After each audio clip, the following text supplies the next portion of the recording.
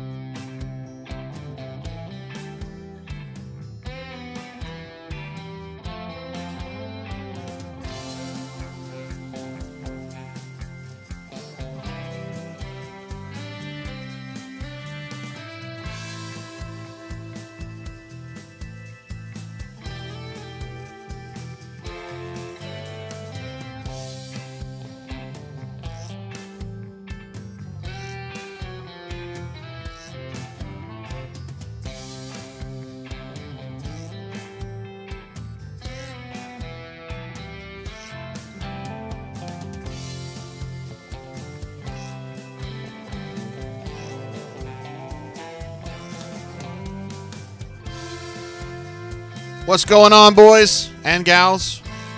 It's uh, it's JG, and as I mentioned in the uh, precursor chat, just got a message from Kristi Malzahn, first one in like two months, and I would normally get more than that. Uh, you know, as you guys know, she hadn't been feeling well, and she went home about a week ago, I think. Finally got a message uh, from Miss Kristi. She says, "Thank you for the shout out and concern during my ICU craziness. Miss y'all." That's that goes for y'all too because I told Gus twice that you, we'd been talking about it on the show and praying for, and that our whole community had really been uh, thinking of them. And uh, I'm telling you guys, the stuff works for reals. Uh, not going to get too deep on that one, but anyway, uh, fired the f up to hear that about Miss Kristi uh, that she's doing better. Because uh, it was, I think it was touch and go there for a little while. She didn't tell me that, but that's just kind of the feeling that I got. Anyway, guys, uh, what's going on? It's great to be here again on this Saturday, a beautiful Saturday down here in uh, Lower. I guess, well, we're right on the border between Lower Alabama and Central Alabama. I don't know. Central Alabama to me is like Birmingham, and Lower Alabama is Mobile, and we're stuck in the middle. But anyway, beautiful day out there, and the Auburn Tigers played some very, very good basketball today. Did they not? Uh, kind of a bumpy first 10 minutes or so, but then kaboom, they figured out uh, how to beat that trapping concept that actually Texas A&M had two trapping concepts. They had like a 1-3-1 full court pressure type situation, and Auburn really didn't have too much trouble with that, but they did have trouble in the half court. They were doing some trapping stuff, doubling the ball a lot. And the way that you beat that is you kind of increase your passing tempo and, in their case, uh, passing accuracy and then you can just pretty easily get shots. And I think for the final, let's say, 28 minutes of that game, I think Auburn got plenty of shots. And Walker Kessler was the uh, biggest benefactor of all of this. Finished with another triple double. That's a two this year. He had one against LSU. Uh, and I'm kind of shooting from the hip here because I don't have the numbers up yet. But uh, I think he had 16 points, 12 boards, and 11 blocks or something like that. Uh, let's go ahead and get over to our main page because I've got it up over there, yo. My eyes ain't what they used to be. The old gray mare ain't what it used to be. 12 points, 11 boards, 12 blocks for Walker Kessler in 24 minutes. Good golly, Miss Molly.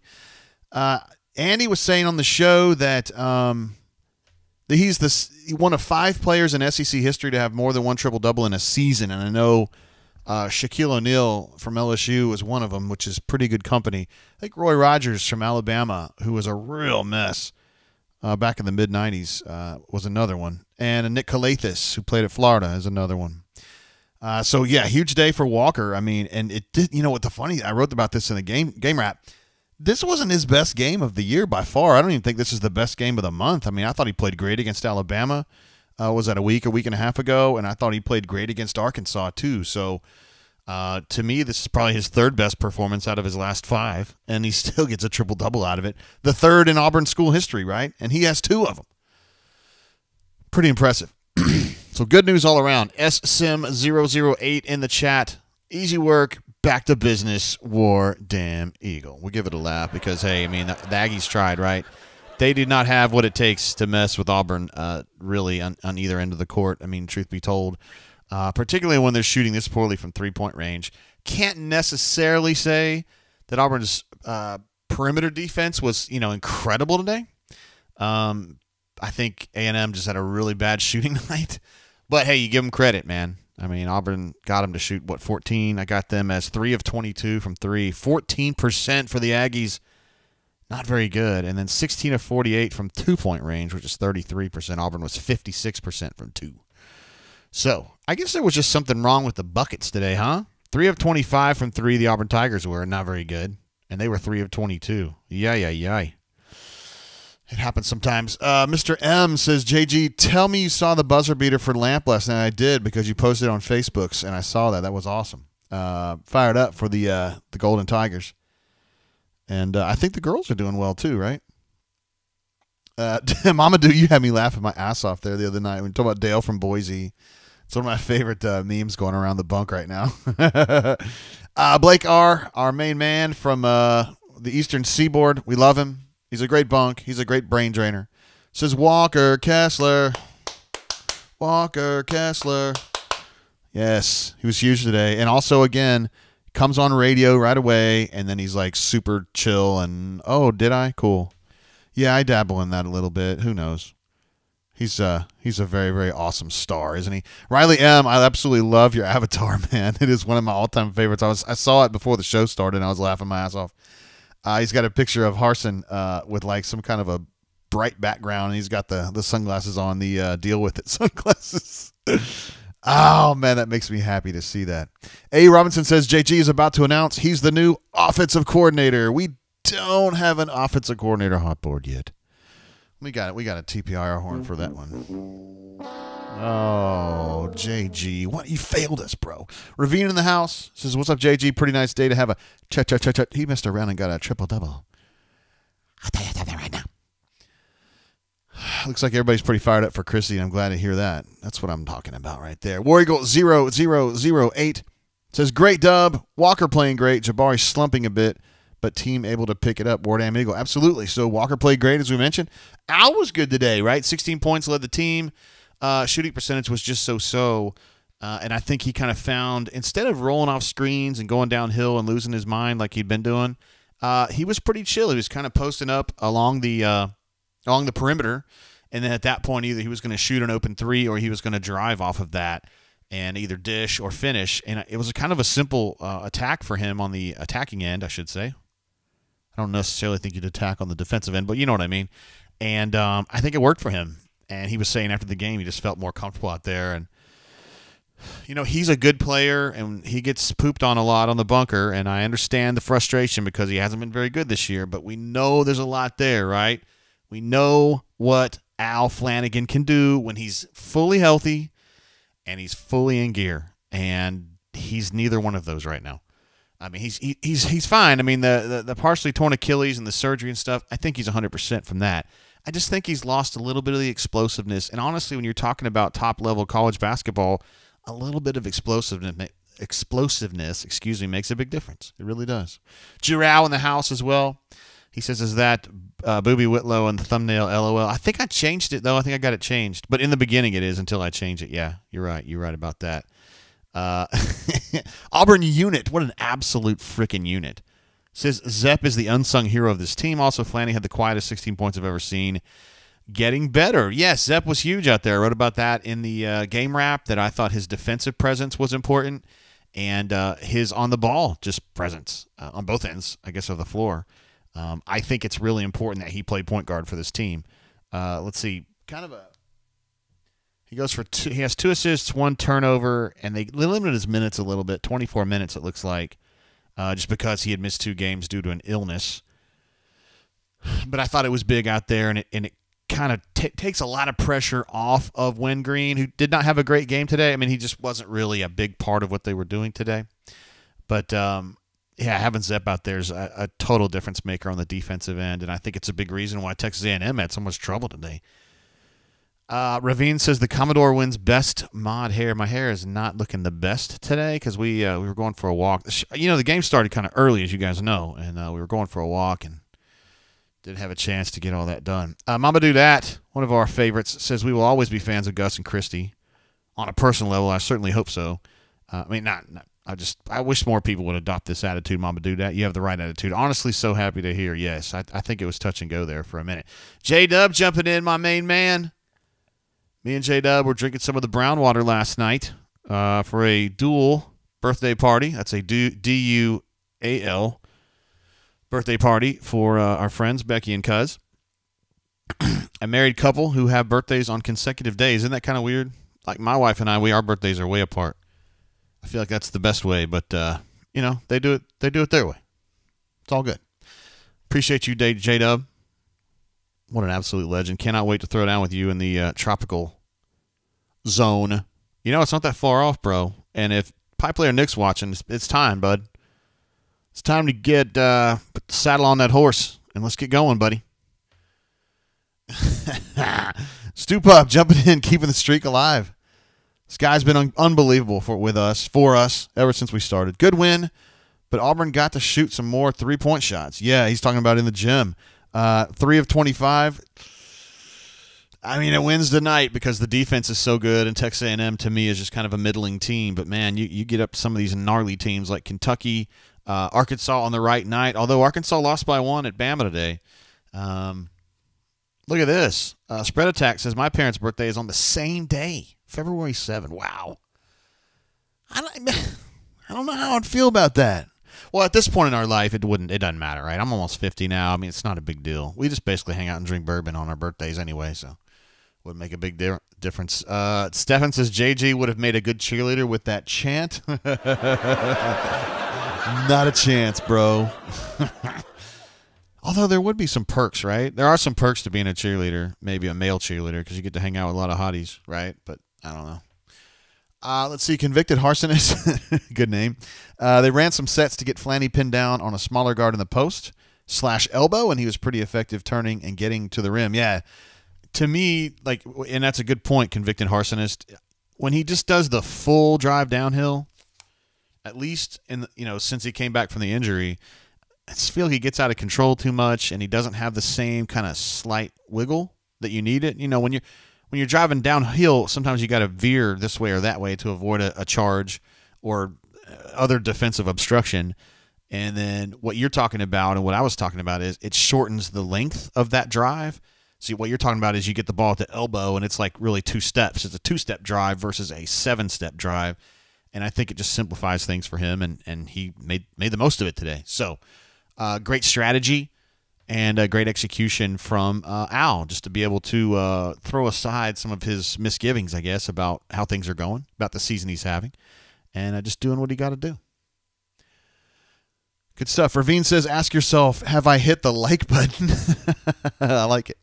We love likes. Uh, look at this CDF, aka the Duff Diver, who was in attendance for the midweek game at Arkansas uh, one of the uh, few people in orange there says, "Good dub. Walker is gone, folks." Um, I'm still not sure about that. If you want my opinion, he's having a great season. Don't get me wrong; he's an absolute beast, and I think he's going to be the defensive player of the year. If he gets one more triple double, you know, and continues to play at more or less this level, he'll be the national player of the year. Um, I still don't know how well his game translates to the NBA. I mean, he's going to play, obviously, but I mean, it's such a crazy shooting league, and I do think he has some shooting ability. But I just don't know, man. I just don't know. I just don't know. Hornatius is here as well. We love Hornatius. Hornatius is, you know, he's one of those guys that looks like Popeye, and uh, he just acts all weird and stuff, but he's actually really, really good dude. Uh, I do give him hell every time we post a new uh, rundown about him having to get his wife's permission to drive a frickin' Jeep. And uh, he said the other day he's got another one now. So I don't know if that's better or worse. I don't know if he had to ask permission. We haven't gotten that far with him yet. Uh, I hope to. I'm really hoping to kind of run uh, into his wife before too long. You know, at least you know maybe them together and just kind of get this thing sorted out. I think I'd like to meet her. She seems like a the kind of chick that I would like to talk to a little bit. I don't mean that way. I just mean someone to know. Because I got no use for soft, beta women. I, I don't. I'm married to a, an alpha girl, and I hang out with alpha women when I do, and uh, I like girls like that. Uh, J Dub says, "Where you at, pipe player Nick? Where are you at?" You might be reeling, uh, J Dub, because Purdue got their butt beat the other day.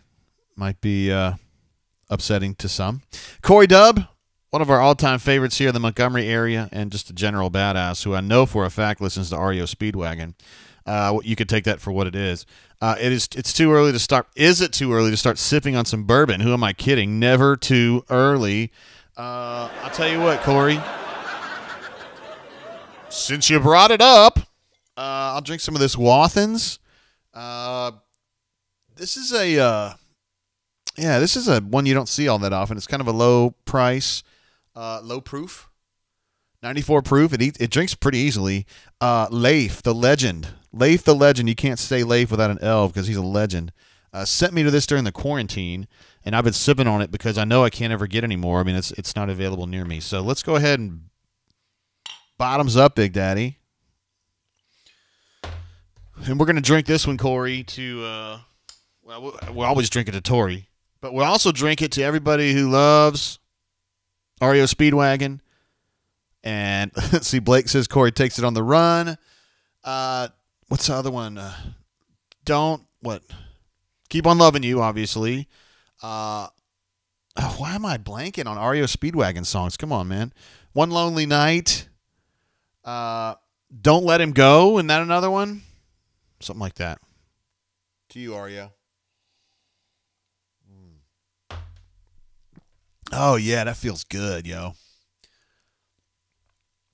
Shane says I looked at the final box score and was amazed. Al had 16 points. He looked lost at times out there. Well, now, buddy, we're we're looking for incremental progress here. You know, I think he's just kind of, um, again, I think he's lost like five. Let's, I'm just making up a number here, five or seven percent of his explosiveness. He'll get it back. It's it was just from being stuck and not being able to really do much with his leg for two months. Can't fight this feeling. Great stuff, Mama That. Another Speedwagon classic. How did I not remember that? It's like a number one song. Frank says, JGT, I feel like your basketball breakdowns are underrated. Thank you, sir. Thank you for saying that. Yeah, I today's wasn't as long maybe as some of the other ones uh, that I've done before, but you know, you got you got to the the heart of the matter really, which is that Walker was unstoppable. Al really stepped up. Zep was really big defensively, and I talked about the uh, def- defensive. I'm sorry, the passing adjustment they had to make to beat the A&M defense, which I thought was a tempo issue with passing. Got to get the passes out moving more quickly. You got to get the directions. You got to get uh, to your spot to get a pass a little more quickly, and you can pass around the pressure. You can do it, and they did it. I mean, they showed, they proved it. They got it going. Uh, Fat Crack in the house as well. Uh, my main man who loves uh, landing in uh, on the island or in Caldera. He's fine either way. JGT, it seems as though we have struggled on offense lately. Are you happy with our shooting percentages, and how can we get better if not? That's a good point. Um, no, I don't. They ha- their shooting has not been terrific lately. That is definitely, I think that's far to say. Uh, I need to look up some of these numbers. So today, uh, they shoot 56% from two, which is fine. Uh, 12% from three, just a little low. and 64% from the free throw line, which is a little low. Uh, let me look at this Arkansas game uh, from the other night. Auburn shoots 45% from two, which to me they should always be above 50 from two. Uh, 25 from three, not good enough, and 47, of course, blech, from the free throw line. That was dog shit. Uh, Bama game 50% from two, 23% from three, 78% from the line. So a three point percentage has been bad here lately, hasn't it? But that's not really their calling card, is it? Uh, let's see. I said Bama, didn't I? Wrong one. Okay, Bama game. This is the one at Auburn Arena. 60% from two, 23% from three, 80% from the free throw line. So, yeah, everything's been fine except for the three point shooting has been kind of bad lately. Oklahoma game, 58% from two. Good with that. 26 from three, and then 85% from free throw line. Yeah, yeah. Boy, I didn't realize it had been going this long. You just kind of think they're getting a little bit of a funk, but man, this is like a seven game funk. Uh, Missouri game, 42% from two. Yeah, they haven't hit 30% from three in a minute. I'm not going to go through all these games because it's not great. Uh, it's not great video because you guys can't see shiz, but uh, yeah, you're right. They need to work on that. I mean, you think about it, Jabari's their best three point shooter, which in a way is cool, right? Because he's 6'10. It's kind of not cool, too, because they got a lot of guards. And those guys should be better three point shooters. Uh, Auburn has several guys that are right in that 30 range, but they need more guys in the 40 range. And somebody posted on the bunker and said, hey, man, if they had one Bryce Brown shooter right now, this team would be unstoppable. And I have to agree. I think that's the one thing they're missing right now.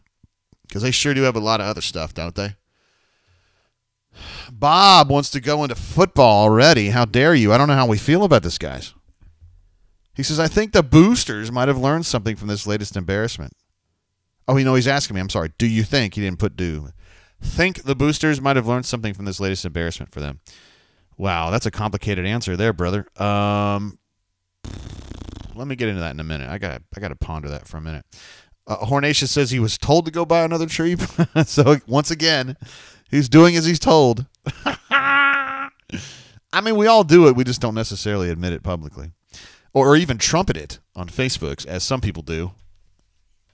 Uh, Sam H jumps in, someone who does not do that, I would imagine, although I don't know that for sure. Says, What does Bruce do to get all these guards out of their shooting slump? Great, prescient thing to talk about, Sam. Our three point percentage has been has been hit, but a lot of miss this season. Yeah, man, it is bad. I didn't realize it had gotten that bad. Um, Auburn currently is Ah, yeah, yeah. I didn't realize it had fallen off that bad. They're at 31% for the season, which is 292nd in the country. They now officially get a red box on uh, KenPom there. Ay, ay, ay. I didn't remember it being that bad. I don't sit around looking at these stats, you know, day to day. I just kind of, you know, I know what they look like. I'm going to go ahead and get the snapshot put up here. And uh, we'll just talk about this.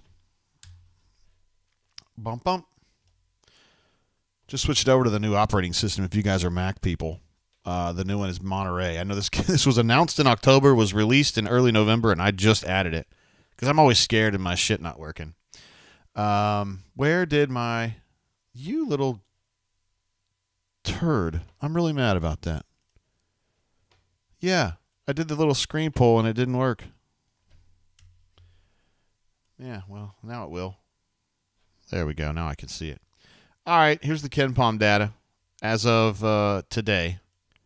And you can see right there under miscellaneous components, three point percentage for Auburn, 31.3, which is 292nd in the country. Ay, ay, ay. Dang. Yeah, so that's definitely the one that sticks out the most. See, the only thing they're getting on red boxes are um, that matter field goal uh, attempts. I'm sorry, free throw attempts per field goal attempts is a red box on the defensive side, which means they they foul too many too often, I guess, on drives. Too many drives end up in a foul defensively. Uh, free throw percent defense. I guess you could wave your hands better or use better insults. I've always kind of found that concept funny. And the non-steal turnover percentage, which to me is kind of a vague. I don't even really know what to say about that one. So yeah, they got to find a way to get a little bit more three-point shooting out of this team, right? I mean, you can't. I don't know as though you can go to the title uh, maybe you can. You can if Jabari's going off, which he doesn't really do as much, right? Like I keep expecting Jabari to be like, you know, blow up and be a 25 point a night guy, and it, it just certainly didn't happen today, and we don't see it very often. He's really good at everything, but he never really takes games over. I don't know if this is a concern or not. I, I, I am tempted to not flake out over that one. Yeah, he's just so good and, and so calm. Blake says, "Time for me to fly." I, I suppose it's time for me to fly. That's another good one. Speedwagon has so many good songs, huh? But you guys weren't even thinking. Hugh Freeze guy says, "Sorry, I'm late, Jay. Time to change the name. Been a good run. I thought you were one of our friends from Ole Miss site. why don't you be um? Why don't you be Eric Keystyle guy? Thought about that? Why don't you ask yourself that? Maybe you'd be good at that. Uh, let's see. Mama Dudat says REO sing song most applicable to AU right now is "Roll with the Changes." Uh, I'll give you a I'll give you an applause on that. That's pretty clever. You're about right. Let's see. Uh, WSD WDE says late night Wednesday tip versus Vandy. Are we number one or are we number one? I do think that Auburn's going to slide a little bit for the loss at Arkansas, particularly with Arkansas losing to Alabama today. At Alabama, for what it's worth, um, it shouldn't fall far. I, I, you know, there's not many teams still that have two losses. Uh, most folks have more than that. Um, I would imagine Gonzaga will probably reassert itself in the number one spot if they beat St. Mary's tonight. St. Mary's is a good team, but the game is in Spokane. And I think KenPom's giving uh, Gonzaga like a 96% chance to win that game. I, they know Gonzaga better than I do. Uh, at this point, to me, you're looking at Auburn, Arizona, Gonzaga are, are the big teams. Um, Houston is a team kind of lurking in the weeds a little bit. Duke has been getting a little bit better, although they had a, a nasty home loss the other day. Shit like that happens when you're in ACC, though. I mean, people just pop up. And uh, you know, you guys know how I feel about the Purdue Boilermakers, but they lost to Michigan the other night. They didn't just lose; they got crushed. Um, and they got Maryland tomorrow, so we'll just keep an eye on that. My guess is that Auburn falls to three, and they put Gonzaga and Arizona ahead of them. Is my guess. Not saying it's right. I'm just saying it's the guess. Arizona, man, is a real problem. I was looking at this team earlier today. I, I watched them just some against UCLA, and I was like, oh, they're pretty damn good. Their top four players at Arizona Three of them are at least 6'11. oh, shit. So you, we, you watch Auburn play so much, and Walker is such a pain in the ass because he's tall and he's limber and he's just a problem, you know. And Jabari is kind of that way. I mean, he's tall. Obviously, defensively, he's not quite where Walker is. But bro, if you go up against Arizona, they've got three guys like Walker. You'd be like, "Whoa, buddy, what are we gonna do now?" So yeah, don't have to worry about Arizona for a while, though. It's just tuck that one in the back of your head. If I had an issue with Arizona, it would be the fact that they're coached by a first-year coach. Well, second-year coach now, I should say. He came over from Gonzaga. No, he might be a first-year coach actually. This is his first year. Came over after like 20 years as a Gonzaga assistant. Anyway, sorry guys, I was getting a little bit off track. I know we love talking about basketball and there's other stuff going on here. Actually, uh, real deal ragged on me for talking about football earlier. Look at that. We got John Starnes in the chat. Holy shit. Says, I agree, real deal. Football talk is depressing. Dude, would you have thought we would have said that 20 years ago, those Starnes? Be honest with me. Uh, Sam H jumps in again. What an absolute legend this guy is. Justin Powell is four. Why are you bringing up Justin Powell? He's 44% from three point this season. He would definitely fit well with this team as a spot up shooter. Probably would replace Devin. Ooh, right. I'm starting to kind of get. I'm starting to get a little bit of a feel for Devin now. Now that he's not so. Uh, the word I would use is overexposed. He's kind of got his niche now, and I love him in that niche. He's the he's the he's the bouncy spazzy guy off the bench. No, not Dylan. Uh, he's the actual like get to the rim guy, not Dylan. Uh, I love the way he's been playing lately. So I don't know if I want to trade that at this point. Plus, JP's long gone, man. He checked out and long gone, bro. I hate it because I really like that kid. He grew up like literally half a mile from where my wife grew up. He lived like three parcels over from where she lived and stuff. I mean, I, I was like, this kid, from Prospect, Kentucky. It's my guy right there. And then he had to leave. Crazy. Canoe Man says, We got dudes. Hey now. Uh, of course, trumpeting uh, a statement that AU Storm 20 made on our show uh, not too long ago. It was probably a month ago. And everybody was in agreement that that is indeed the case. Actually, it might have been late, uh, further back than that. It might have been during the end of football season. Sorry to even say the F word at this point, fellas and gals. That's it. Eric E says this defense is the best in the nation when it has all the pieces. And uh, dude, I just turned on Skype. We got a call coming in from an unknown caller. Who could it be? Hey now, welcome to the brain drain. Who this? Hey, JG, it's Figgy Poo. Hey, what up, Figgy? How we doing? Well, I mean, wonderful. And I, I don't even want to answer you. I just want to give you the, uh, the, the the recruiting finger. You know. Yeah. Hey, I'm pointing at you right now. You can't see it. How you been, bro? We're good. We're good. It was a uh, a good morning. Got up, fixed brunch for everybody, and and and then watched Bruce and the boys. Yeah, and they uh, they did things. Uh, they they they put those fun. they put the Aggies away. You know, I, I don't know anything about basketball, but uh, you know we can have some bad shooting days, but we play really good defense, and so you know then we can still blow folks out. Yeah, it's fun, isn't it? There's probably another one coming Wednesday night, so that would be nice. Yeah, yeah.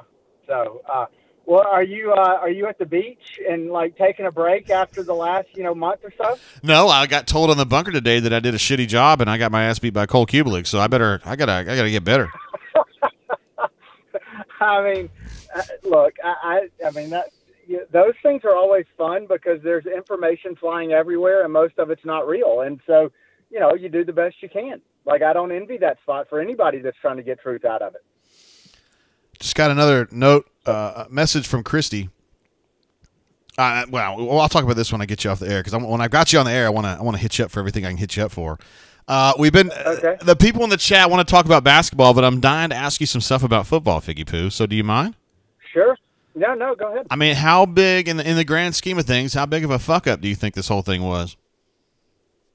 Look, I, I'm look. I think it was a big kerfuffle, but but I also don't think that that like there was as many bad actors as the bunker does. Like I think that this was there was a sort of an official investigation probably launched by Auburn, um, you know, into you know for a variety of reasons. It could have been the Davis situation. It could have been uh, the Mason thing. It could have been players leaving. We don't really know, but then the the investigation included talking to people, and so as soon as people started, you know, the players started getting inquiries, then they take to Twitter and InstaSpace and all that kind of stuff, and it creates just this like just this frothy environment of conjecture, speculation, whatever. And I think there was probably a legit investigation that was probably handled as well as it could be handled.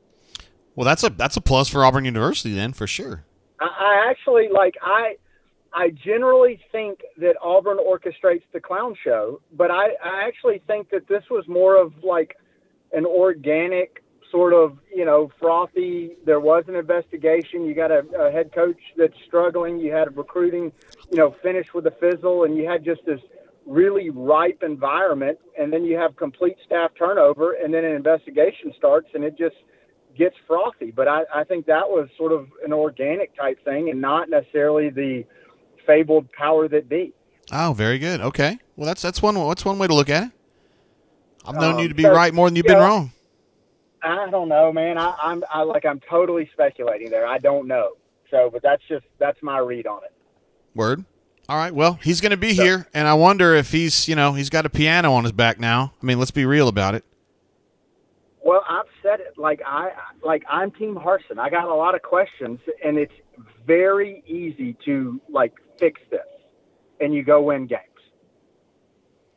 Like, I think he's got to do some PR stuff. He's got to do some stuff better to be the coach at Auburn that he's not used to.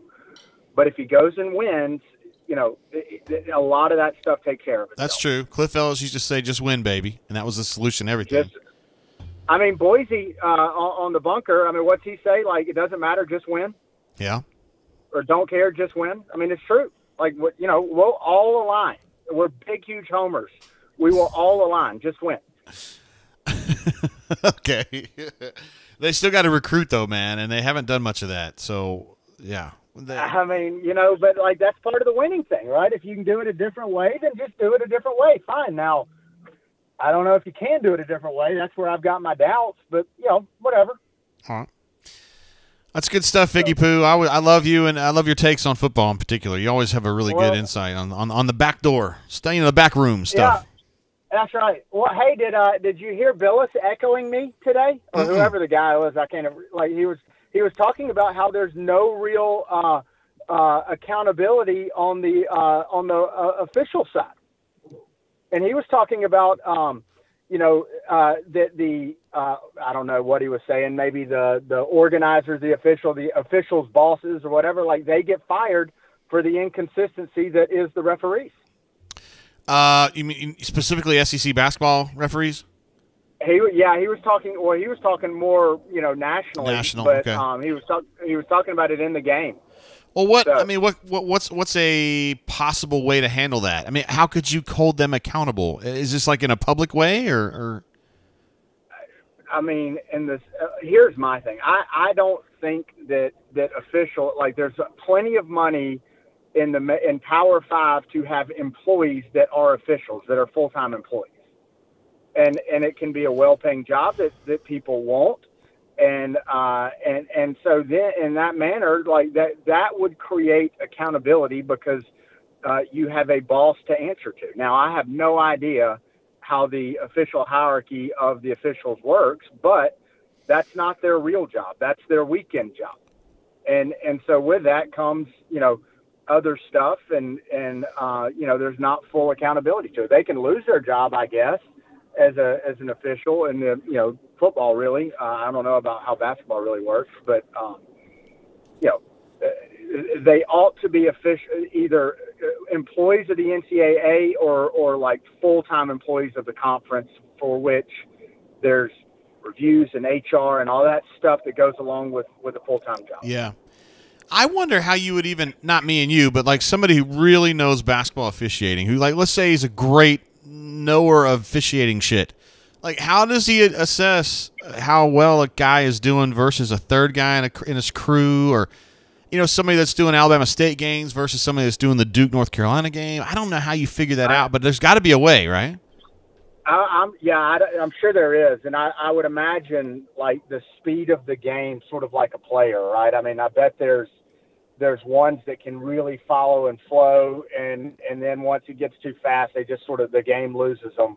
Um, and, and so I, I, but I guarantee you, like I, I guarantee you, um, Bruce knows who the good refs are and who the bad refs are when they walk in the building. Yeah, just owns my reputation.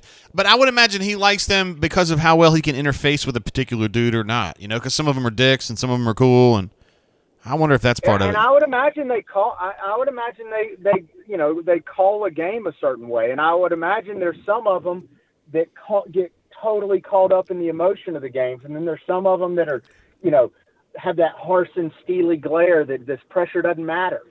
Um, and I, you know, I have no idea. Um, Yeah, okay. But I, I would imagine they do have those types of, of sort of, you know, things that go on because those are just sort of human characteristics that Yeah. we all have. Figgy And Poo, there's a talent thing that goes with it. So you anyway. bring up some good points, man. As always. hey, hey, it's fun, dude. Love what you're doing. It's a you know big, huge family. We don't always get along. We don't always agree, but it's always fun. And you know, it's it's a it's a fantastic environment that you cultivate. Appreciate you, Figgy Poo, for saying that and for being part of that environment. All right, we love it, Bubba. All right, See you, y'all man. take care. Bye. There he is, Figgy Poo, calling us uh, from the road because he's always out getting something done. Uh, I did have a couple super chats. I need to miss one. Mobile alum, of course, jumped in here. You, you've seen that here on the front for a minute. Auburn alumni, hold on, bro. I got to get through this. Uh, she says, "Hey, hey, JG, looking forward to seeing you next Saturday. Bunker's gonna bunk." Uh, she is referring correctly uh, to the shindig we're gonna have at Voodoo Wing Company in Mobile next Friday. So now the Flor- this is the day of the Florida game. The game's gonna be at one. Um, I'm probably going to be able to write that up because I'm going to be in Mobile already, but we're not going to do a uh, a brain drain from that. We're going to do a taped rundown uh, with Jay Head and others. We may be able to uh, sway Mobile alum to be on the show at least for a moment, uh, and we're just going to hang out at Voodoo Mobile and chill. If you guys would like to come hang out with us, you're absolutely welcome to be there. Uh, we would love more the merrier. Uh, I'm going to be drinking some brown water. I'm going to be doing some chatting and hanging out and doing my thing. And we're staying the night, Friday and Saturday night. So I'm, I'm there for the duration, and we will absolutely throw down. So be there, be square, or or oblong, or whatever you want to be. Looking forward to that. Also, uh, I feel like I missed one other super chat I did from my man Quan, another one of our Montgomery legends. Uh, it says shout out to the powers that be and their 0 and 1 mentality. He's calling them out. Um, yeah, that's a that's a complicated answer there. Um, we'll get into that. We'll definitely get into that. That's good stuff. Thanks, Quan. Did I say Friday? I meant Saturday, Mobile alum. I am going to be there Friday and Saturday, but no, the the event is going to be on Saturday, the nineteenth, uh, February nineteenth, the game, the day that Auburn plays at Florida. So I will be there. Uh, Bob Williams says, didn't Zona, Arizona, have a difficult time with Arizona State a couple nights back? Uh, they had a slow start. They ended up crushing the shit out of them. Uh, the final score of that game was, uh, let's see, they beat Arizona State 91-79. So I guess 12 points isn't really beating the shit out of them, is it? But it was, it was a convincing win. Now we've got Auburn alumni on the horn. What's up, man? What's happening, JG? Uh, just uh, enjoying this uh, another triple double from uh, the tall guy. Oh man, what a freak! Like seriously, what a, what a luxury to have that guy roaming the middle of the paint every game, to where no matter what you do on the outside, there's a better than average chance that anyone going inside is going to get embarrassed by him. He's a mess, man. He's hard to deal with, and he's a fun guy to cheer for. You know. Well, and, and not only that, but he, he he definitely breaks the stigma of quote unquote the goofy tall white guy in the middle because he's so good with his hands, he's so good with his feet, he's so smart, doesn't take stupid swipes when they're not there. I mean, he's just yeah, he's definitely a unicorn. And you know, I uh, forgot who was that posted they they apparently talked to his family member, but I'm not expecting him back for another year, but at the same time uh, I, I, you know, I said I'm not going to get my hopes up, and now I'm getting my hopes up that maybe, just maybe, there's a glimmer of hope and get him for another year. Because if he did, man, that that, that would be uh, that would be swell. So, Yeah. yeah, good. Um, Great having that back.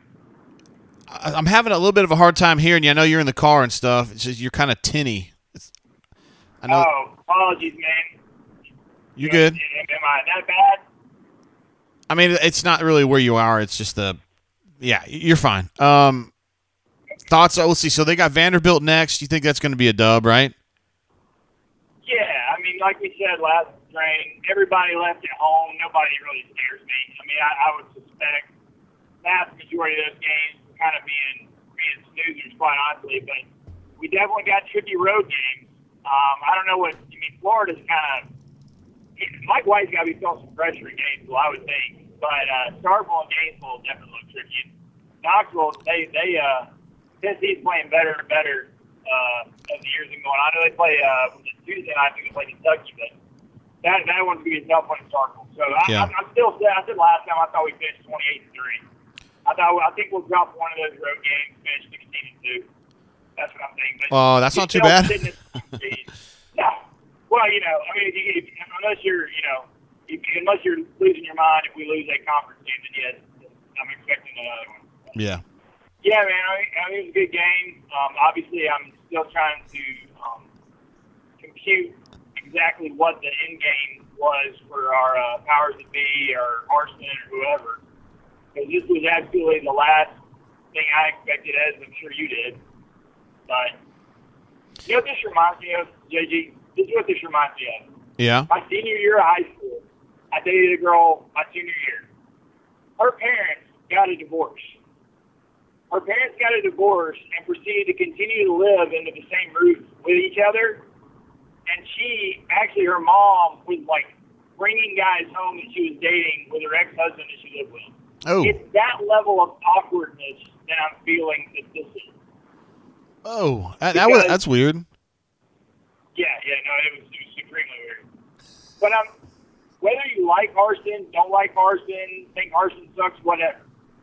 Just looking at it from a what's good for Auburn, future state, I don't understand how any person with any, you know, comprehension of this can sit here and not see this being an unattainable, unwinnable, no way out position of bringing him back for another year.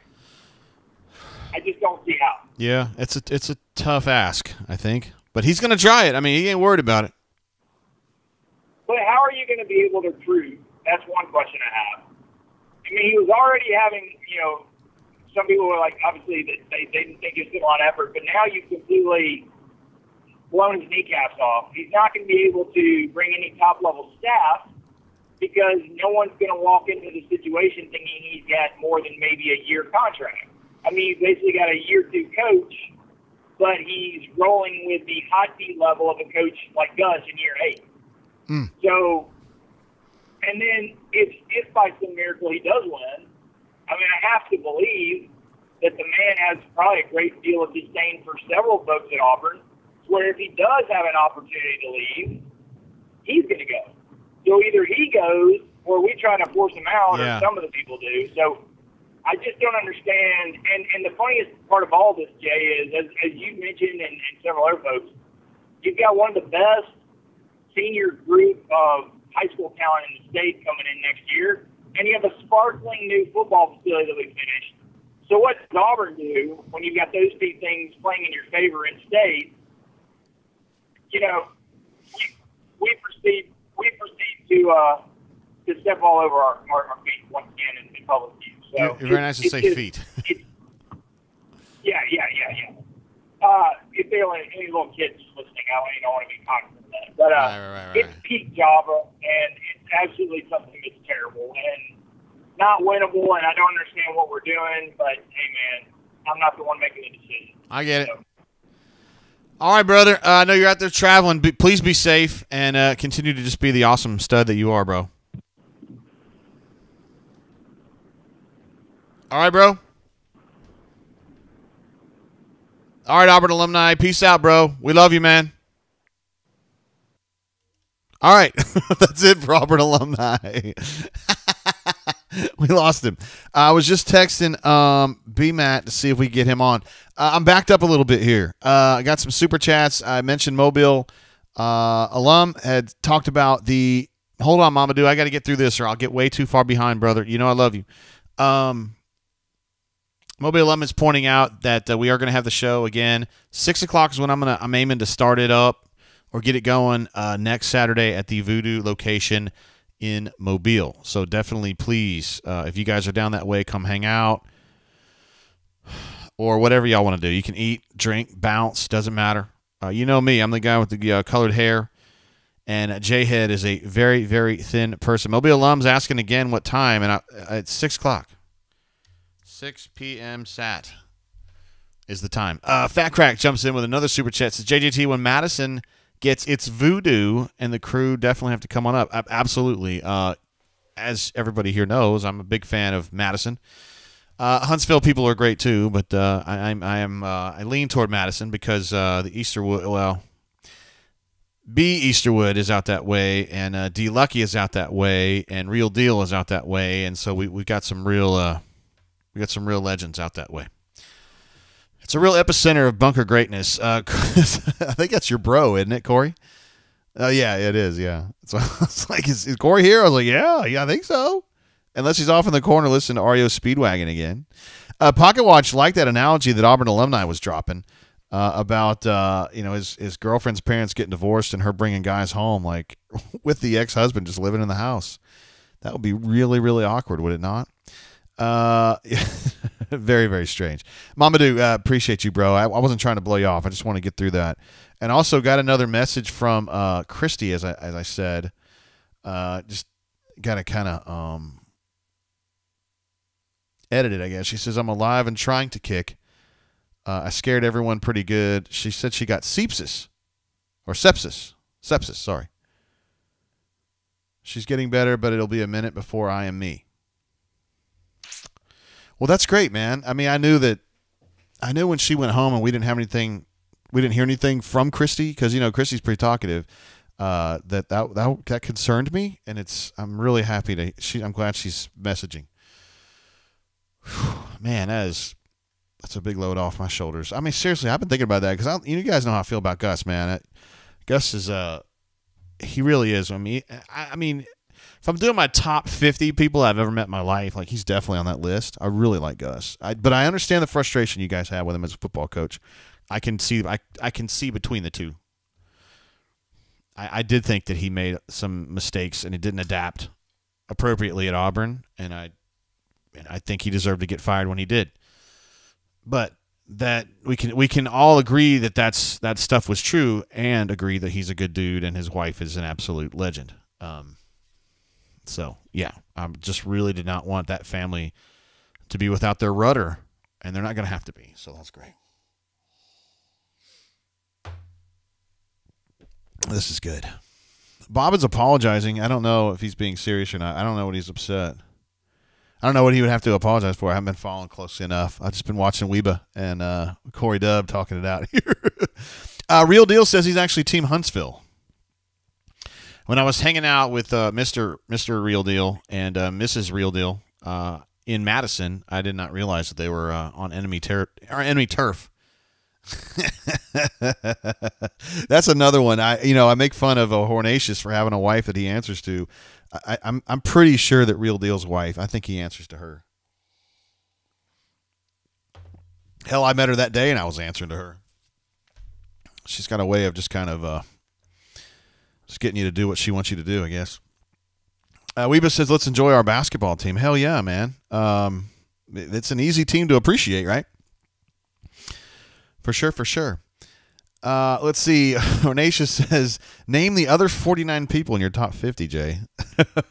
you know, actually, I did make a list. I mean, I mean, I'm not going to read it to you, but like about a month ago, I was like, I'm just going to, I'm actually going to make a list of my favorite people that I've ever met. And I knew that I would miss some, you know, like, because when you're just sitting there and you're thinking about the people that you interact with, like, you know, every day or every week or every month, but there's people out there that you, you really, really like that you don't necessarily see for whatever reason I was watching uh, one of these videos. Larry King, who has passed away, but I didn't realize this. He used to do these things with like celebrities and others, where he would do like uh, he would just ask them questions about their life and stuff. Uh, not an interview; it was like quick, quick pace kind of. Like you know, what's the best advice you ever got? What's the worst advice you ever got? What's the scaredest you've ever been? What's a hidden talent? He would do that kind of stuff, and uh, he was asking um, about great advice. He asked Justine Bateman about that, and she said something about how life. You just kind of assume that life is always just going to kind of go on this straight line and it doesn't. It goes all over the place, and that is really good advice. I, I used to think life was like that. That you just build one block after the other, and it just goes that way. You know what I mean? But life doesn't do that. Life goes everywhere. Hornation says, at least name ten of your favorite peoples. I will name them since you asked me. You don't know any of them. Courtney, uh, well, J Dub, he he posts on here some. He's definitely one of them. JV, Crystal V, uh, Matt my friend Macho Man, uh, my friend uh, Aaron Woodhead, uh, Maddie Crouch, uh, AC, and Gen C. Some my that's my top ten, but uh, there's somebody I'm forgetting on there. I knew I was going to go back and add somebody. Someday I have to come up with my ten favorite uh, bunks, though. I don't know if people would get upset about that, though. But if I was going to do top ten bunks, I'd have to put uh, on there. I really do like Hornatius. I make fun of him and shit, but he's he's a really good dude. I don't know. I don't know if we hang out a lot though. I think you're. I think you're too high energy for me, bro. it's like I feel like your brother's more my speed, you know. Uh, yeah, okay, Mama Do that. I got you, brother. Now I got you, Mama Do that. Calling in from Greater Indiana. What's up, brother? JG, how you doing, brother? Boy, you sound a lot better than uh, Auburn alumni did. No, I, I, I saw. I, I. It reminded me of the old uh, Nextel Direct Connect, the phone that also could be a walkie-talkie. Damn right. Um, yes, yes. That that uh, shout out, shout out to Auburn alumni though. Uh, nonetheless, one of the one of the best callers in in, in brain drain lore. Right up there with uh, with D Lucky and Doc Dumpster. Well, you're, I mean, you're moving up the list, brother. There was a time when you just kind of popped on the scene and disappeared for a while, but you call every time now. We love it. I appreciate it. No, my yeah, my my schedule has, has worked out where I've been available and and, and, and able to call in. Uh, so so no, I've I've enjoyed it. Um, but no, I thought you know it's interesting. So so I come at this. My father-in-law was a longtime high school basketball coach here in the state of Indiana, oh. and is uh, to this day one of the smartest X's and O's folks that I know. Um, it's funny. He he and Matt Painter Matt Painter text back and forth occasionally on X's and O's, and um, and brilliant guy. And uh, so I picked up a lot of his X's and O's knowledge along the way. And uh, you know, I so I look at this, and, and we were looking at the, the, the shooting percentages in the KenPom and, and some some tough stats right now. And so, in it, you know, I, I think it was a good gritty win. Anytime you don't play well offensively and you can uh, still win, that's a great thing. Um, I am concerned, though. I think a lot of the, especially three point percentages recently, have been be- not because necessarily we don't have guys that are capable of making three point shots, um, but the quality of three point shots that I've seen Auburn take in the last few games is not has not been great. Like forcing um, him a little bit, you mean? Yeah, for, forcing him uh, you know, some some deep ones off the dribble. Um, anytime uh, Devin takes a three, um, you know, there, there's a lot of there's you know there's just guys that you don't want shooting a large volume of three point shots. We have a few of those, and I just, and I think if if it were me, I would rather them take take less shots. Yeah. Unless it's late in the clock. Unless it's late in the clock. Um, there's there's guys on that on the floor that you don't want taking three point jumpers. Um, and then there's guys that you do want taking three point shots, but probably you want better looks, work the ball around a little bit more, um, and, and, get an open shot. Yeah. Because with Walker on the floor and with Jabari, you know, those guys need, uh, they need a lot of defensive attention. If you work the ball around just a, if you, a little bit more patient, you'll get a lot of good open looks from three. And that's just not that's just not coming to fruition often enough. I think Bruce sees that, and even in the video they posted before the Arkansas game, he he said, you know, we need to value the, our possession and, and, value the basketball, yeah. and and that is just not something that I'm seeing this Auburn team do consistently enough. They're going to get away with it against Texas A&M. They'll get away with it against Vandy, but I'm worried over the course of the tournament there will be a game um, where if, even if you're a little bit sloppy, or you, you know you you take some bad shots, your shooting percentage slips a little bit. Um, you know that's where upsets tend to happen. Yeah. And so um, I, I, I know the coaching staff knows that. I'm sure that that is going to be a point of emphasis. Um, so hopefully we can get that cleaned up before uh, before March. Yeah. Need more shots from Lior. Still at 47% for the year, Mamadou. Just saying. Exactly. Exactly. and, and, and, and, and, and, and, you know, there were, it, it, it pops up from time to time in really critical points. I mean, obviously the end of regulation against Arkansas was, was one of them. Um, with, with the shot that we decided to take there. Um, and, and so, so yeah, I think, I think they'll clean it up. Um, you know, this is an unselfish team. I think mo- for the most part, I don't think it's selfish players. Um, but I think they're just making some dumb decisions at times that, that will get it cleaned up. Yeah. I, I'm with you though. I, I they need yeah, something's not quite right with their three point shooting. I mean, uh, Jabari's still pretty good at forty percent.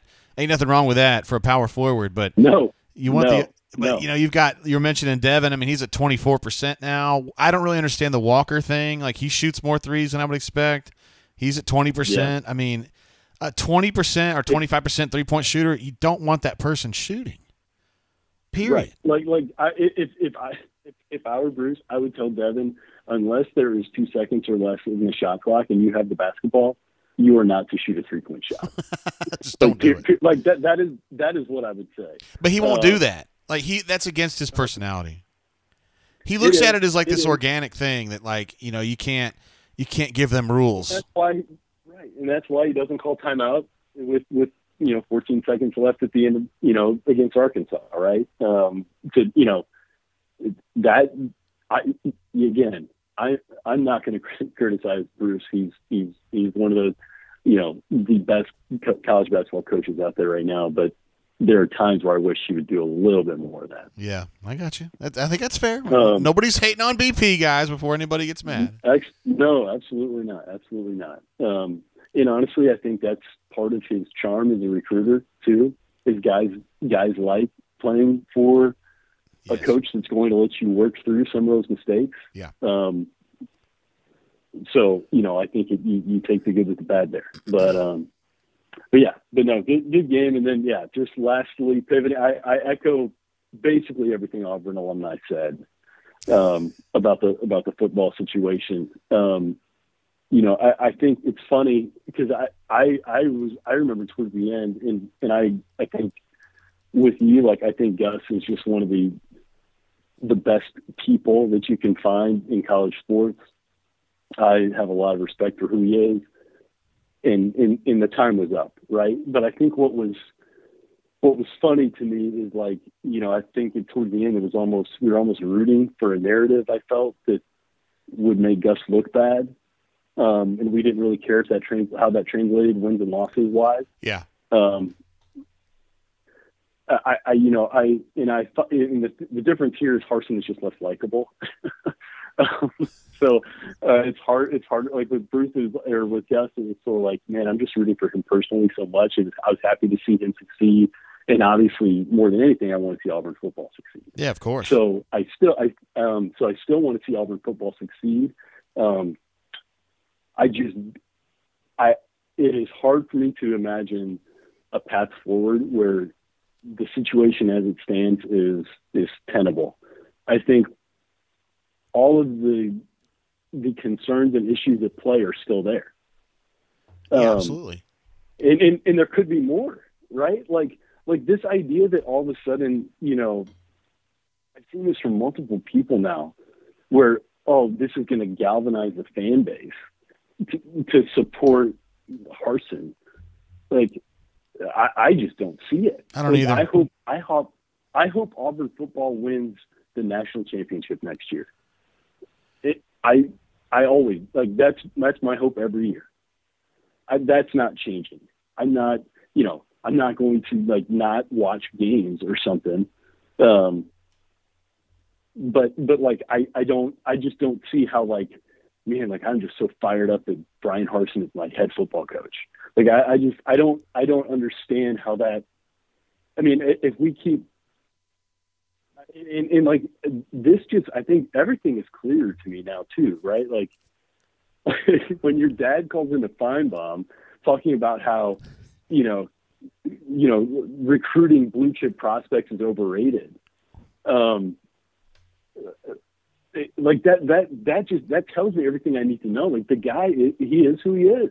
Yeah. And credit to him for having the balls to say like, screw you guys, like fire me if you want, but like, I'm not backing down.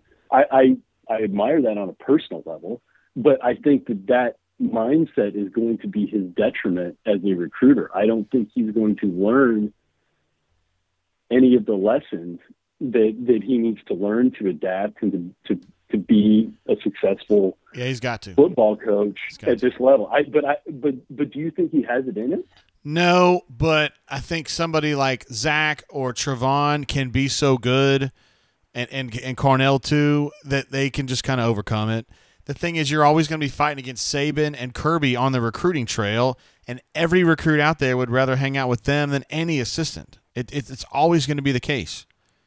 And so he's if he's going to go head to head with those fuckers, yeah. he's got to do it too, and that's where it gets a little dicey. I think was it on the brain drain earlier this week, where y'all were talking about how that's where that's where Tuberville went wrong, where he uh, he forget like the idea that all of a sudden the, the head coach had to start recruiting from well, out front. They didn't necessarily before, do that at the time. Be, but but I think but that was where he in his career, right? Like he was so used to having the assistant coaches, you know, be the the, the lead recruiters, right? And they were very successful at doing that.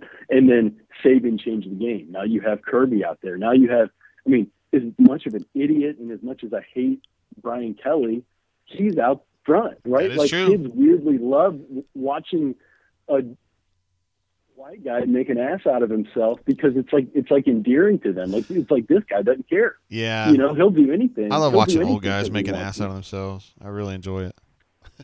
but like, but yeah, but but but again, like that, like that is the day and age that we're in now, right? Yes. And if if you cannot embrace that and go all in on that, like I think Gus in his own way even did that, right? Like like like he's and, and awkward as hell sometimes.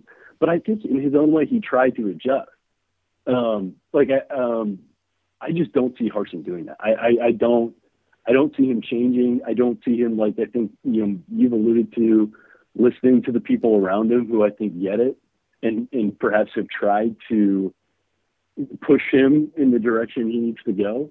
Um, I if he starts to listen, great. I just it's really, really hard for me to see a path forward. And the fan base is not going to galvanize around you if you continue to be eighth in the in the standings in recruiting in the SEC. You're speaking a lot of truth there, brother. I mean, I, yeah, I, I don't think it's going to be this immediate galvanization. I, am with you on that. I'm very skeptical. But anyway, brother, you're always an awesome caller, and uh, we need to chew on this a little bit deeper, or more deeply, I should say. So. Agree. Yeah. I'll, you know, I, I, I don't think the story's been written even, I mean, there's a lot that could happen before spring practice, right? With coaching hires, Good. retaining coaches that are currently on the staff. Yes. Right? Like we're like, we're not through this. Like, I think people think that this is like, this is concluded. And I don't think anything has changed other than like, we're not actively looking to find a new head coach. Everything else is, is like that's the only thing that has immediately changed. And like the buyout is not measurably less at the end of next season. I know. I know. You're, like, not, you're like not saving that, a bunch of money. The part that seems very short sighted to me yeah. is it's like you kick the can down the road for a year. Like you don't you like you you're risking way more than you gain. Um, and I'm surprised they didn't arrive at that conclusion, but that's the Java part of it that we've come to know and love. Yeah. All right, brother. I appreciate right, you. Hey, appreciate it. See you, man. See you. Bye. Mamadou's got some healthy, I would call it healthy skepticism about that, and, and honestly, I do too. Um, yeah, I do too. Uh, this, I mean, you know, three, well, whatever. When we were transitioning from Jetgate at the end of the 03 season to the 04 season, there was a galvanization behind Tommy, but man, that team was a little different, right? He had Jason coming back. You had Carnell coming back, Ronnie coming back, Carlos uh, Rogers coming back. I mean, you really kind of had this feeling that you get the right person, and they did in Al Borges, who incredibly was the right person. But uh, you get the right person, you put it all together, they can be great. I don't know that you look at this team and say, if they go out and get the right offensive coordinator, it's going to be fine. Because I don't think they can get the right offensive coordinator. I, I, I just they're they're going to give it a, they're going to give it hell. But I, I just if you're a let's say, I know this is not going to happen. But let's say somebody like Jeff Lebby, who's at Oklahoma now and he's doing the right thing. I mean, he's moving his way up. Why? I mean, under normal circumstances, right? If everything's stable and the team's fine, they can challenge for a guy like Jeff Lebby. It's fucking Auburn. Like they've got money They've got clout. They're on national television all the time. That's a national brand. Like, why wouldn't Auburn be able to get a person like Jeff Lebby? Why couldn't they get a person like Kendall Briles, one L in the first name? Uh, they should be able to challenge for anybody they want on the offensive coordinator situation. And you know they can't do it right now. They just can't do it, and it's not their fault. It's not Bryan Harsin's fault. It's not Brad Larondo's fault. It's not anybody's fault. It's just a, a messed up situation. I mean, I've got a decent idea who they're looking at an offensive coordinator. And, you know, here's the thing before people shit themselves over it and say, well, this guy hasn't done enough, Al Borges was the solution to the post uh, Nussmeier experiment. I mean, he, this dude who was a nobody at Indiana came into Auburn and he made perfect sense out of the personnel they had and played a huge role in Auburn going undefeated in 2004.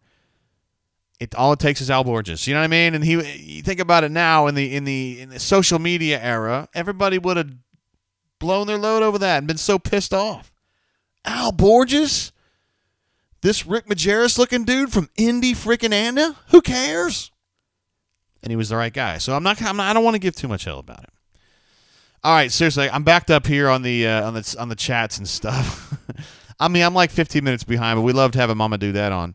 Uh, Love the Cat says, I'm drunk shooting a few basketballs in the hoop in my driveway right now. He's drunk at 3.05. It's not bad. I mean, it was a basketball day. Uh, Real Deal uh, mentioned before that he was feeding the baby and watching the drain. The last time I hung out with him and Mrs. Deal, the baby was in her belly. So that's good news that everything's moving along that way. Uh, uh, Corey said that Jay and I used to hang out a lot. I've hung out with you once, Corey. So if you had made that comment like the night we hung out, then you'd say that, yeah. I mean, I, I you know how I like you, man. Let's do it. A lot of times when I go out, I got to take my mom now, though. It's part of her. Uh, her doctor had asked that. uh, and then Weebus was says, Jay, why are you not hanging out with C Web? He's jacked and handsome. I'm not even arguing that. He's a very strong individual, and he's uh he's a handsome man, no doubt about it. Hornatius says, I've only met JGT in person twice he was weird AF and ran out on at least one tab. How dare you say that? it was two. I met you more than twice. I know that. Uh, Captain Nico Flygood was in the chat saying he credited the win today to him wearing the replica 99 shorts he bought from the summer of 2000 at the Cliff Ellis basketball camp. Bah, you look pretty good out there. How you doing? Uh, you got a nice shot. Yeah. Uh, oh, Duff Diver jumped in earlier. Which of these stud ponies that BP is delivering can deep stroke from deep? Oh man, that had a little bit of a that went a little weird there, didn't it? Uh, let's see that he's got two. Chance Westry. Um, I don't necessarily look at him that way. And then Trey, I, I we'll just have to see what those guys are going to be. Because like this is going back a few years, but when Mustafa signed with Auburn, like he was known as a defensive stopper, which he was a really good defender. But he ended up being a, really a pretty good three point shooter. He wasn't Bryce, but he was good. And I was always like, well, why didn't you guys mention that when he was being recruited that he was a 36%, 38% three point shooter? So maybe Trey ends up being that guy. Maybe Chance ends up being that guy. But no, I don't think of them, either one of them, as like super duper sharpshooter guys. I mean, that's just me talking. I mean, I think they could benefit from having a Scotty Pullman myself, but you know, whatever. iCope07 says, "What up, JG?" iCope, of course, uh, who hung out with us at the uh, in Montgomery back in the day. Was it uh, December now? Howard says Kessler needs to stay another year to work on his three point shooting. If he improved his three point shooting, he would be a top five pick. Uh, I don't know about that, but he would definitely be a, a, first round pick. There's no doubt about it at that point. I mean, he doesn't have to be like a 40% shooter, but if he was like a 30% shooter, maybe. Right now he's at 20, and he's he's been better lately. So, and I, I'm telling you guys, in practice he hits shots. I mean, he hits threes. So I, I mean, I think a lot of him. If he came back next year, it would, it would be over. He's going to win Defensive Player of the Year this year. I don't really know where you go from there. Anonymous X says Major Applewhite question mark. He is certainly somebody that I think that they're going to be talking to on the offensive coordinator search. Although I haven't gotten any like hard information about that, so I hesitate uh, before getting too deep on that one. Um, Frank G says, "Who is our Borges?" Um, yeah, I, I don't I don't know exactly yet. I mean, I've got I know somebody they're looking at who's kind of like Borges in that he's old, well older, and uh, kind of off the beaten path.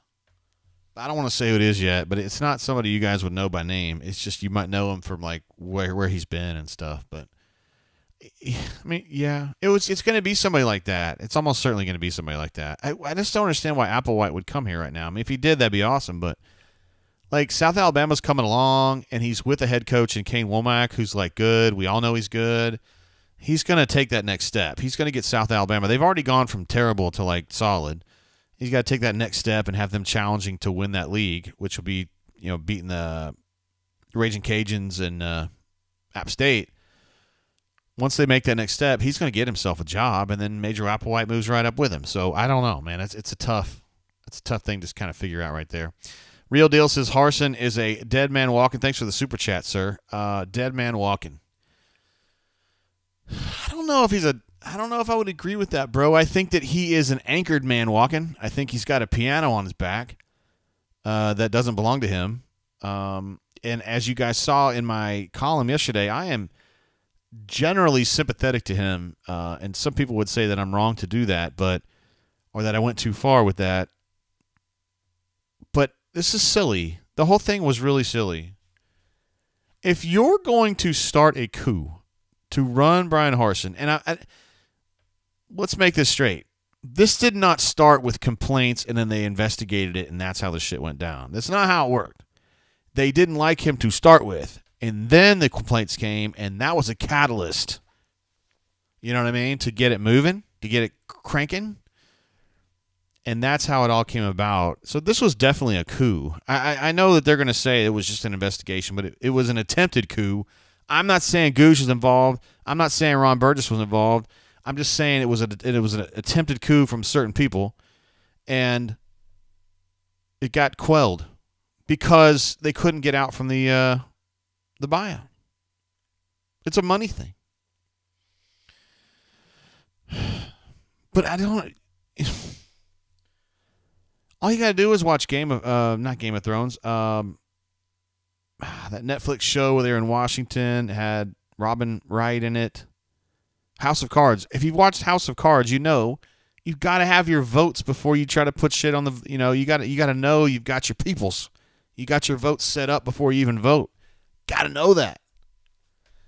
So if you're to coup, you're to try to get a coup to take out Harsin, you got to know you can finish the job, and they didn't finish the job. And I think when the time came to pay the 18 million and get him gone, because he can't. I mean, realistically, guys, I, I don't know if he can stay here. I mean, he can, but I mean, like we've talked about, like Mamadou was talking about, and like Auburn alumni was talking about as well. It's he's FUBAR. It's my opinion. Stupup says, really wish AU had a true NBA style 3 and D wing. Mm, like a Danny Green. You know, there. I mean, before the injury, I would have told you that Al was that guy. His three point percentage went way up last year. His defense was terrific last year. Isaac Okoro, of course, not necessarily a three guy, but certainly a D guy. Not quite there right now. Although Stoop Up today was a, a step forward, I think, for Al. He was the leading scorer. He uh, they made some adjustments to the kinds of drives that he was making today, and I thought he made more sense out of them. Yeah, that was good. Blake R says he's drinking the Four Roses single barrel today. Great choice, brother. That's delicious bourbon. If I had that in front of me, I you better believe I'd be drinking it.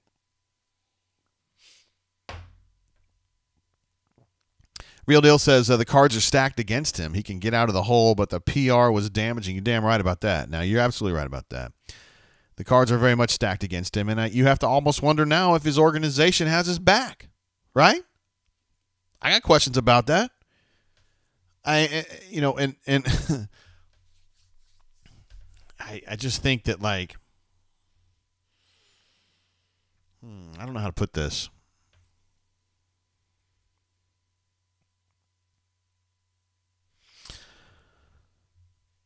Harsin I still I have reason to believe that Harsin still doesn't understand how Auburn works. Now I don't. This was this was the last data I got on this was as this was going on, so I haven't not since it finished, which was just yesterday, but these folks that are close to um,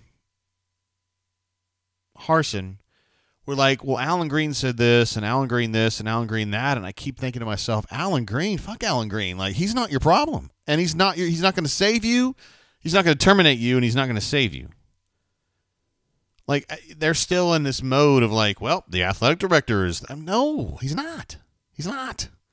I, you guys know how I feel about Allen Greene. I always got to check myself because I find I end up standing for him unnecessarily or like unintentionally because I, I really like Allen. And I'm not trying to be like his stand. He doesn't need a stand. But I'm just saying, I think a lot of him, but you can't live in this world where it's like, well, Allen Greene's running everything over there in the athletic department. Like, what is this, 1970? He's not. He's not. And people who think that he is are just out of date and they're out of touch. And if that's the football coach, that may explain some shit.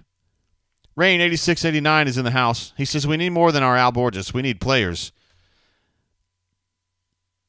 You're, you're right about that. The offensive line in 2004, anchored capably by Jeremy Ingle from Montgomery, Alabama. Uh, yes, they had players. They had some really good offensive linemen. And I wonder if this team has some really good offensive linemen because if they are, they haven't. I don't know them yet. I mean, they have some solid guys, but they uh, good ones. I'm talking about good ones, and uh, they're going to need those. As Rain, uh, Rain's probably talking about several other people as well, in addition to the offensive line. But it's a complicated path out, and I was talking about this the other night. I think that the roster for 2022. Brian's mentioned this on the rundown. In fact, uh, the roster for 2022 is is solid. It's at least solid. They have some really good players on the roster right now. And as you guys know, I'm very high on Zach Calzada. Not everybody is, so I could be wrong. still got Wooden, still got Derick Hall. You know, you still got Owen coming back. Still got Tank on the roster. Still got Jarquez, who I thought was a, a, a relevatory type young man last year. I think Zach Calzada is going to be good. You still got, you know, I think Lando King is way underrated. John Samuel's here. I mean, there's a lot of players. But 2023, they're going to have to pick it up, man. They're going to have to pick it up to get there because they ain't got them right now. Uh, let's see. Mama Doodat says, I would ask the coup attempters, what is going to change between now and December 22? Like, what is the difference between 18 million and 14 million? I want some answers on that. I have every reason to believe that if they had fired him, they were going to owe him more than 18. I know his I know his contract says 18, but I think he would have sued for more. I think he would have sued for more.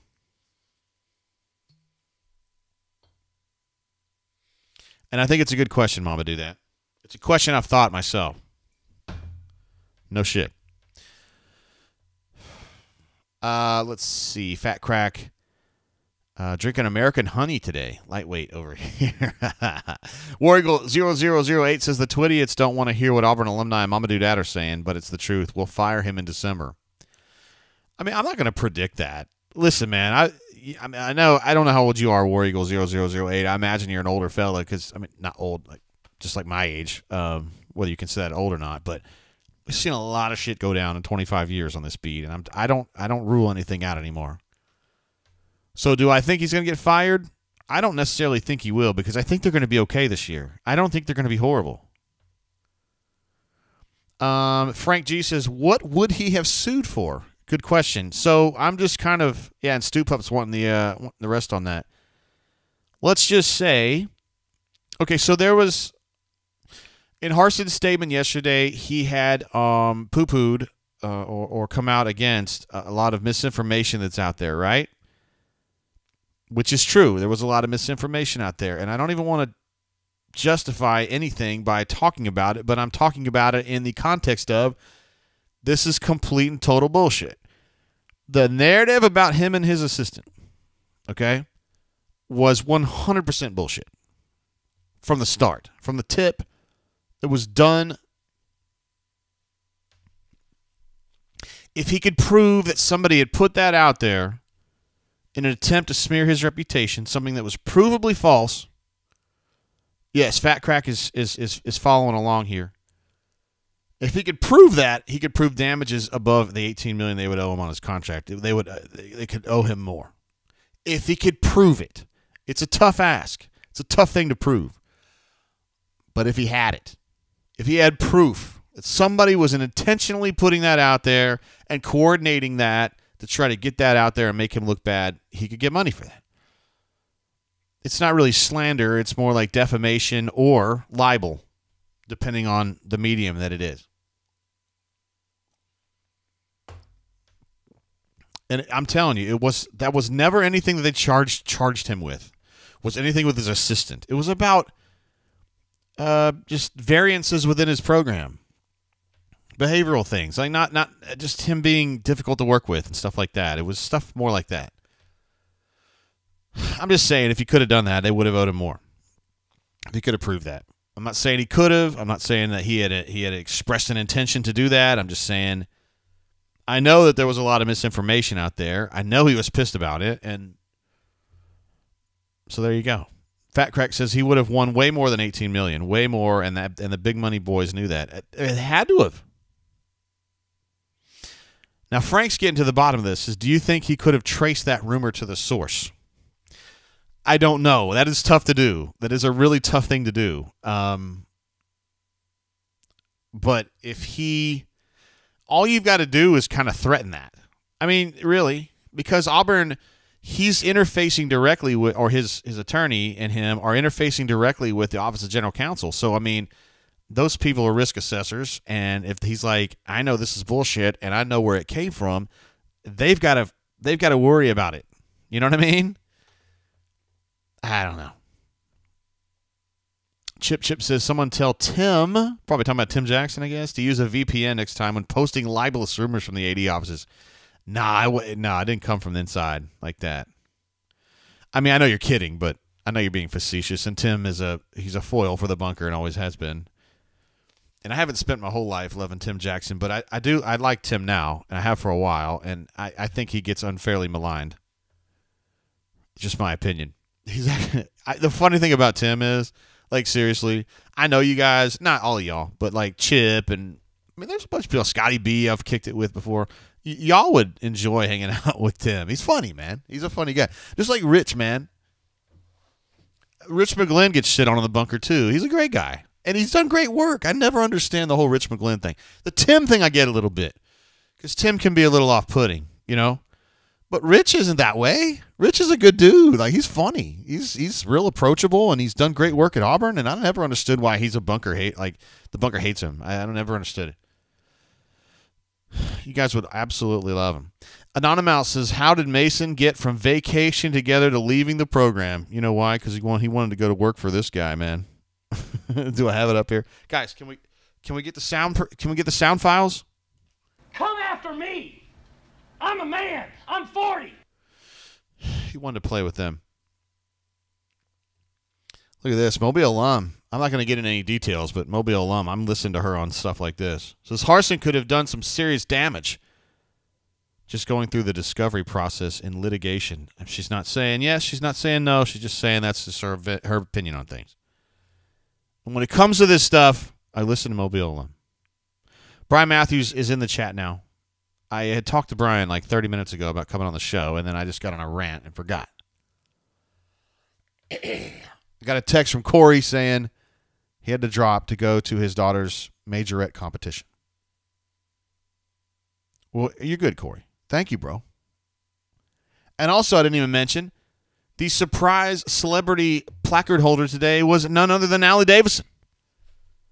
Our Allie Davison. our former intern and junior staffer, who uh, B Matt and I still keep up with. We're always cheering for uh, Allie. She's kind of like a de facto daughter for me and him. We love Allie. Very proud of her. She was uh, she did a great job.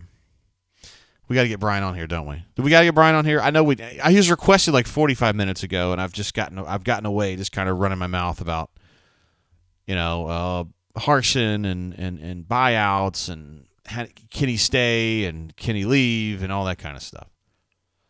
But I'm going to go ahead and leave Mobile alum's statement up here. I think it's uh, yeah, I think that's a good one.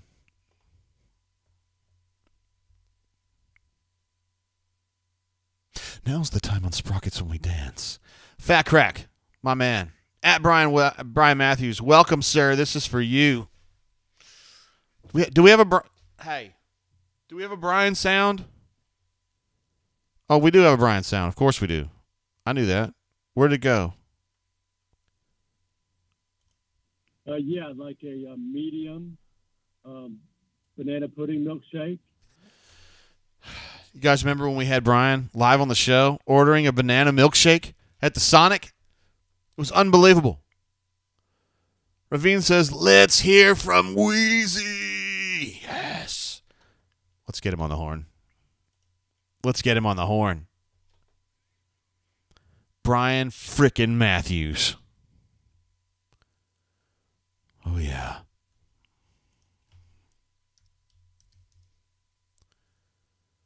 BMAT.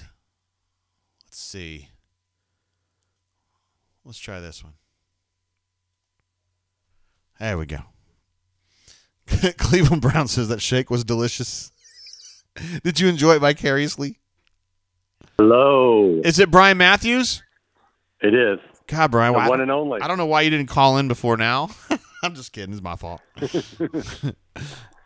What's been going on, bro? Are you are you actually at Starbucks? Uh, no, no. I picked up the Starbucks and I'm back at the uh, casa, just chilling on the sofa. Did you say uh, watching you on YouTube? Did you say casa? Casa was that? Atta boy. well, Yeah, whatever. casa. Uh, you know, my Spanish is a little, little, little off. Yeah, Spanish may not be your first language, right? Probably not. Uh, thoughts on the basketball game today, Sir Brian? Well, if they hit their threes, they probably will, probably win by thirty or forty, right? I think they were three for twenty-five, and heck, they'd been up by twenty at the eight-minute mark or the twelve-minute mark in the first half. The way they were playing defense, I mean, you could tell A and M was getting a little frustrated because Auburn was playing so so well defensively. Um, so I, you know, I think that three-point shoot is the biggest thing I'll work on. But I thought uh, Kessler was amazing. I think I looked at some point in the second half. It might have been around 12, 14 minutes left. He had, you know, something like four points, six rebounds, and seven or eight blocks. I was like, yeah, probably not triple double today. And then boom, he just went off. Um, uh, that last half, the second half, and he was amazing. I thought uh, the bench was terrific. Jaylin Williams, 11 rebounds. I thought um, Dylan Cardwell. Um, if you look at him from game one to now, he's just a much much better player. Uh, he's just more efficient, right? He's not turning the ball over like he was. I feel like he knows what he can and cannot do, and is doing what he can do really well now. Um, who else played well off the bench today? I think those were the main two. I, well, Dev had some really nice nice plays. He got some rebounds and had those dunks.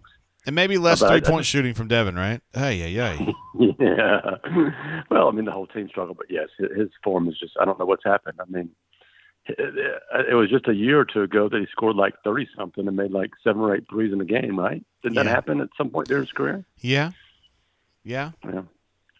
He used to be a Wait a minute. 34% shooter, and then last year he was a 29% shooter, and this year he's a 24% shooter. It's getting worse every year.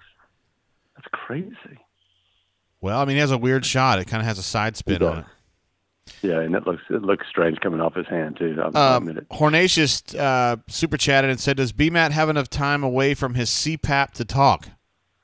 yeah, yeah. I, I, I took uh, I did like uh, you know a high percentage, so I'm feeling really good now. Yeah, so Yeah, I don't know. To go for like the one minutes. time that you called in and you had you were a little short on breath because you had just come down all those stairs or whatever. Is they all they Yeah. still make fun of you for that? Hornatius is really obsessed with that. It sounds like Yeah, well, I think he's obsessed. maybe he you. likes dudes that breathe heavy. You know what I'm saying? Oh, are you saying he has experience with that? I don't know. I'm just saying. Hmm. Um, do you have Something to think about. concerns? We've been talking a little bit on the show about uh, Auburn's lack, general lack of three point shooting. I mean, Jabari's good, but the other guys are not as much. Do you think this is going to bite them uh, once we get to March? It could. That's the one thing this team is not doing very well right now, and I think that's a part of the, a part of your uh, a part of the uh, an offense that has to do well to be really good in March, right? To make those runs, I, I just think you've got to. I mean, playing defense is big too. That's important, uh, but you've got to um, be able to hit your threes. So I think this is six straight games they've shot over under three, 30 percent from three point range, and I don't think necessarily they're taking a bunch of bad shots. I, I just think they're just in an overall slump right now. They just need to, you know, find a way to pull it out. It's been going a while now. I was looking this up on KenPom. It's at least seven games they've been shitty from three point range. So I mean, it's it's it's trending down. Yep. Yeah. Yep, it is. It is. So hopefully they can turn that around because if they get that right and they keep playing defense the way they play, and you know Walker Kessler uh, keeps dominating inside, you know Jabari's been a little off last couple of games, but they put all the pieces together they're capable of. They can be a really, really powerful team. I mean, I'm saying that as they're what 22 and two, but you know what I'm saying. That a team that can run all the way to the Final Four, maybe do even more there.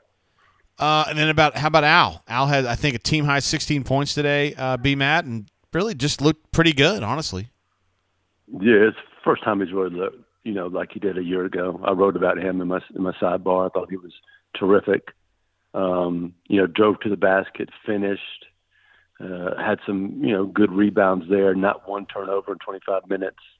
Uh, so, you know, led the team with 16 points. I just think he had a a good overall game, and that's a confidence builder. I, I just think he needed one of those games to get him going, and um, I, I think that's good for him. That's an, that's another piece on this team that can be really good. And um, you know, you've got a guy like KD or Wendell who have made big plays down the stretch. Walker and Allen Flanigan is that type of player. He just needed to get his confidence up to get back there. So Yeah. uh, that's another big big addition to this team, so to speak. Um, one question on football: Is Bryan Harsin fucked or no? Well, um, first of all, Bryan Harsin was there, and he did not do the, um, you know, get my picture taken, get some video, and, and dip out. Right, Yeah. he stayed for a while, which is a change, right? You wonder if there's going to be changes or not, and that was that was different than what we had seen before. Um, he he he walked back and forth in front of the students, and you know, fist pumped them and, and took selfies with them. Then he walked to the other side of the floor uh, over there by the ESPN, and then uh, at halftime I saw him down right below where the media is. So he he made his way around the arena. I don't know how long he was there, but much much longer than he had done in the past. I thought that was good. And then is he done? I mean, now it comes down to what happens over the next um, eight to ten months, right? You know, it's Yeah. about how, how does he recruit and and how does the team play. You know, I, I think that's what he's, he's going to have to be evaluated on now. Yeah, recruiting. Um, you know, I think he passed through the through the um, you know whatever was going on with the inquiry about the off the field stuff. So unless there's something else that happens, you know, um, I, I think this is all about just um, you know how this team plays mostly this fall. We'll see. I, don't I don't have a really strong prediction on that yet. I'm a little concerned. We'll see who you know is on the team after spring practice and uh, who they can add to the team and. and you know, uh, we'll see how it goes. Are you expecting further defections, sir? That, I mean, yes, I think there's going to be, but the question is, are there, is there, are there going to be important defections like key players uh, on offense and defense? And I think that's possible, but I don't want to go outright and just say it, right? Because I just, you know, it's, I don't know that's going to happen or not. I, I, don't- I don't, you know, I don't know what certain players. I think a lot of people know who I'm talking about, especially on offense. Oh, Um, but you know, I, I- I can't make a, a, a fair prediction what he will do. Um, but I, I think um, the spring and everything that goes on between now and then will be important. And I'm sure a lot of these players want to see some some progress in the transfer portal, although it's not really a lot they can do right now. It's probably not going to happen. Uh, most of the incomings until after spring. War Eagle 0008 said, What could Harsin possibly have to do during this two hour window that would have been more important than being locked in on the basketball game? He needs to be as visible as possible. I think you would agree with that, Brian. Yeah, and, and he was. So that's good. Uh, that's a plus. And it's also a plus that he just didn't go to one spot and then leave. You know what I'm saying? He made his way around and hobnobbed a little bit, not just with Oh. the students, with other people too. Oh, look at So him. that's important because I think when we talk about what a coach needs to do at Auburn to be extremely successful, he's got to be a coach, he's got to be a recruiter, and he's got to be able to develop relationships with the people that matter, and just the Auburn fan base in general. And Bruce Pearl is, you know, a a a in all those all those categories, and uh, that's something that Bryan Harsin needs to work on, in my opinion. Yeah, he, he could do that. I mean, he yeah he could borrow a little bit from Tuberville, but he's a senator now, so I don't know. Yeah, yeah. Well, I mean, Tuberville did. I mean, we we that were close to Tubbs and covered him knew that he was full of it for for a lot of the time, but he knew how to play the game. He knew um, to know the right people and have those relationships, and it allowed him to maybe have a longer career, and more successful career at Auburn than than he probably would have if not for those uh, reasons. Right? You know, he Yeah. may have been uh, gone. Uh, you know, in 2003 if he didn't have the right relationships. So. Uh, thoughts on the celebrity uh, N placard holder today, Brian Matthews? I- I'm just so I'm just so proud to be friends with Allie, you know, and I've worked with her. Um, she is such a special young lady. What she did uh, for those students, you know, before the Kentucky game, Jungle City, to raise all that money and to um, buy all those things and get them distributed, that, that took a lot of work. And she did it, you know, miles away in Atlanta. Uh, and she just did it because, you know, she was the one that stepped up and, you know, uh, just took charge, so to speak. And uh, I was just so happy to see her out there, to see her get recognized, and I thought it was really cool. You know, she, they did the thing with her celebrity letter, and then she's coming up the before other students were coming to her wanting to get selfies with her. I thought, man, that's awesome. Look at that, look at that star right there. You know what I'm saying? Do you think they knew who she That's was, like for reals? Well, they announced her as that, you know, as you know what she did for for um, Jungle City and stuff. And I think there's enough students and people on social media who have a good idea who she was, That's even if they wouldn't have done that. Yeah, That's I, think awesome. So. I She's love a five that. star man. alumni. Yeah, absolutely, man. And she's uh, for the. I mean, I I know most of the people in the chat know, but Allie was here for a long time. I think three years, three plus years. Uh, Most of that as an intern, and then uh, a little bit as a, like a junior staffer. And she, uh, me and BMAT still keep up with her a good amount. And, and uh, we love Allie. I mean, she's like a. I, I described her earlier, Brian, as kind of like a, an extra daughter for us. You know, I mean, we just kind of think of her that way and treat her that way. And I do. I absolutely do. Yes. she's she's good people, and it's, it's awesome to see her getting her uh, getting some credit for being an awesome person. Yes. You know. Yes, exactly. That's that. Could, couldn't have said it better. Yes. All right, bro. We appreciate you having you on, and uh, you know you're an absolute legend, obviously. So Yeah. Looking forward to the big football game tomorrow.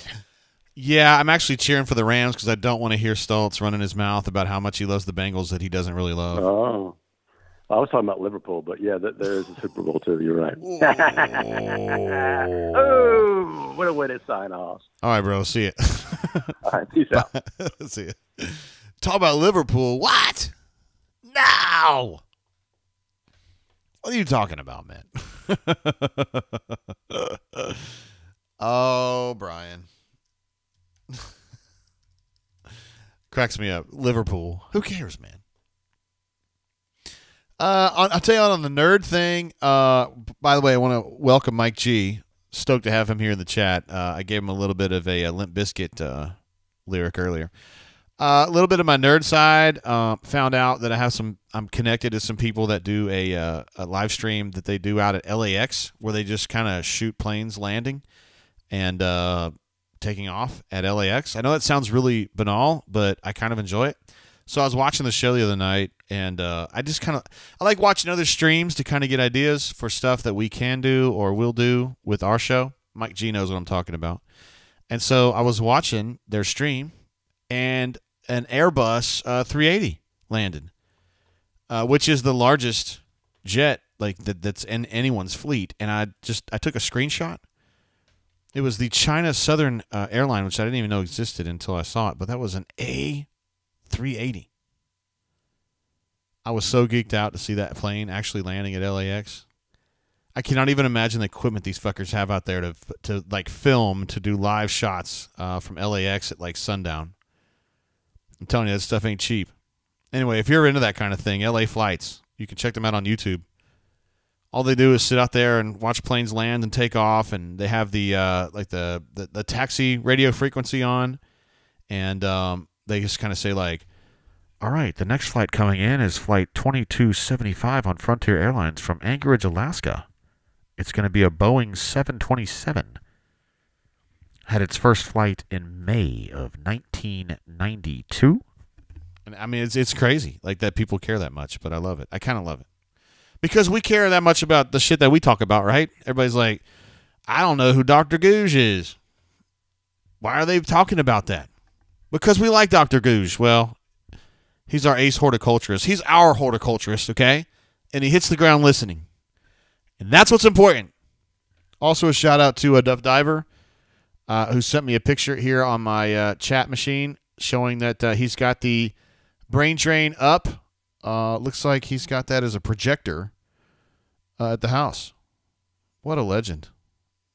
Yeah, that's great, man. Appreciate you, bro.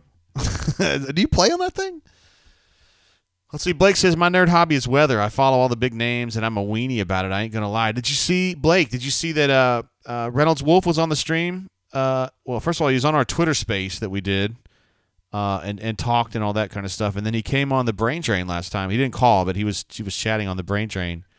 Uh, Reynolds Wolf from the Weather Channel does the morning shows, and uh, when they do like um, selected uh, like like hurricanes, he's always there, and then like other selected uh, weather situations, he goes. He's an Auburn fan.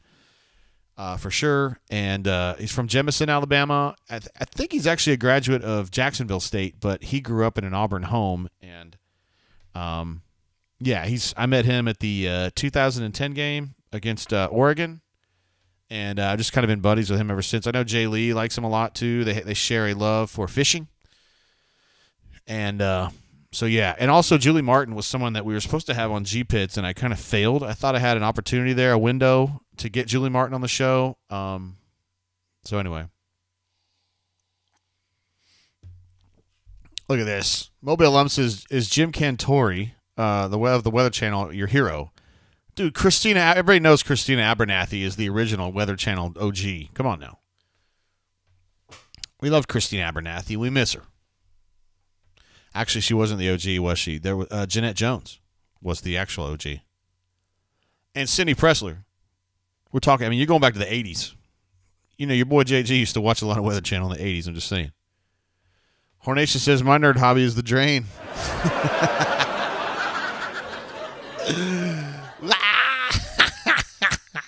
Mama that says Stoltzy already lamping on Twitter. Are you freaking kidding me? I, would Mama do that. I'm gonna have to look this up, bro. This is important to me. Let's see what this asshole's doing. I'm just kidding. You know, you guys know I love him. Look at this asshole. What a jerk. He actually made reference to this on uh, the rundown the other day that he had bought a uh, a squire. He bought a squire for some kind of a drawdown or you know whatever it is at one of his local bars or whatever. And so this is what Mama Dudat was talking about. He already posted this, lamping about it. He says, I got to move this so I can see it. Already won my 100 points back for tomorrow's big game for having blah, blah, blah. And I'm getting free food and drinks the entire game. Everything is coming up stoltzy. Come on, Bengals. Who day?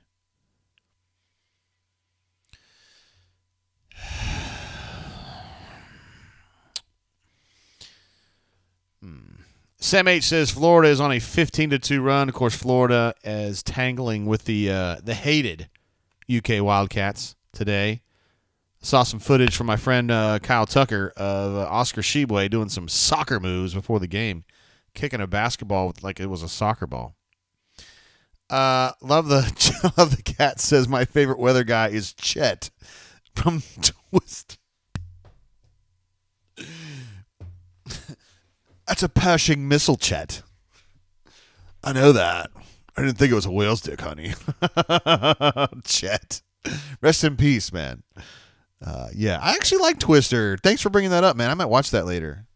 That was when Holly. What's her name? Not Holly Hunter. Holly something or other. She's pretty cute. I thought. Also had Phil Hoffman as uh, one of the weather chasers. Also the dude from um, Cameron from um, uh, Ferris Bueller, who is now on Succession. He was one of the weather chasers as well. Cary Elwes was a was the bad guy in that movie.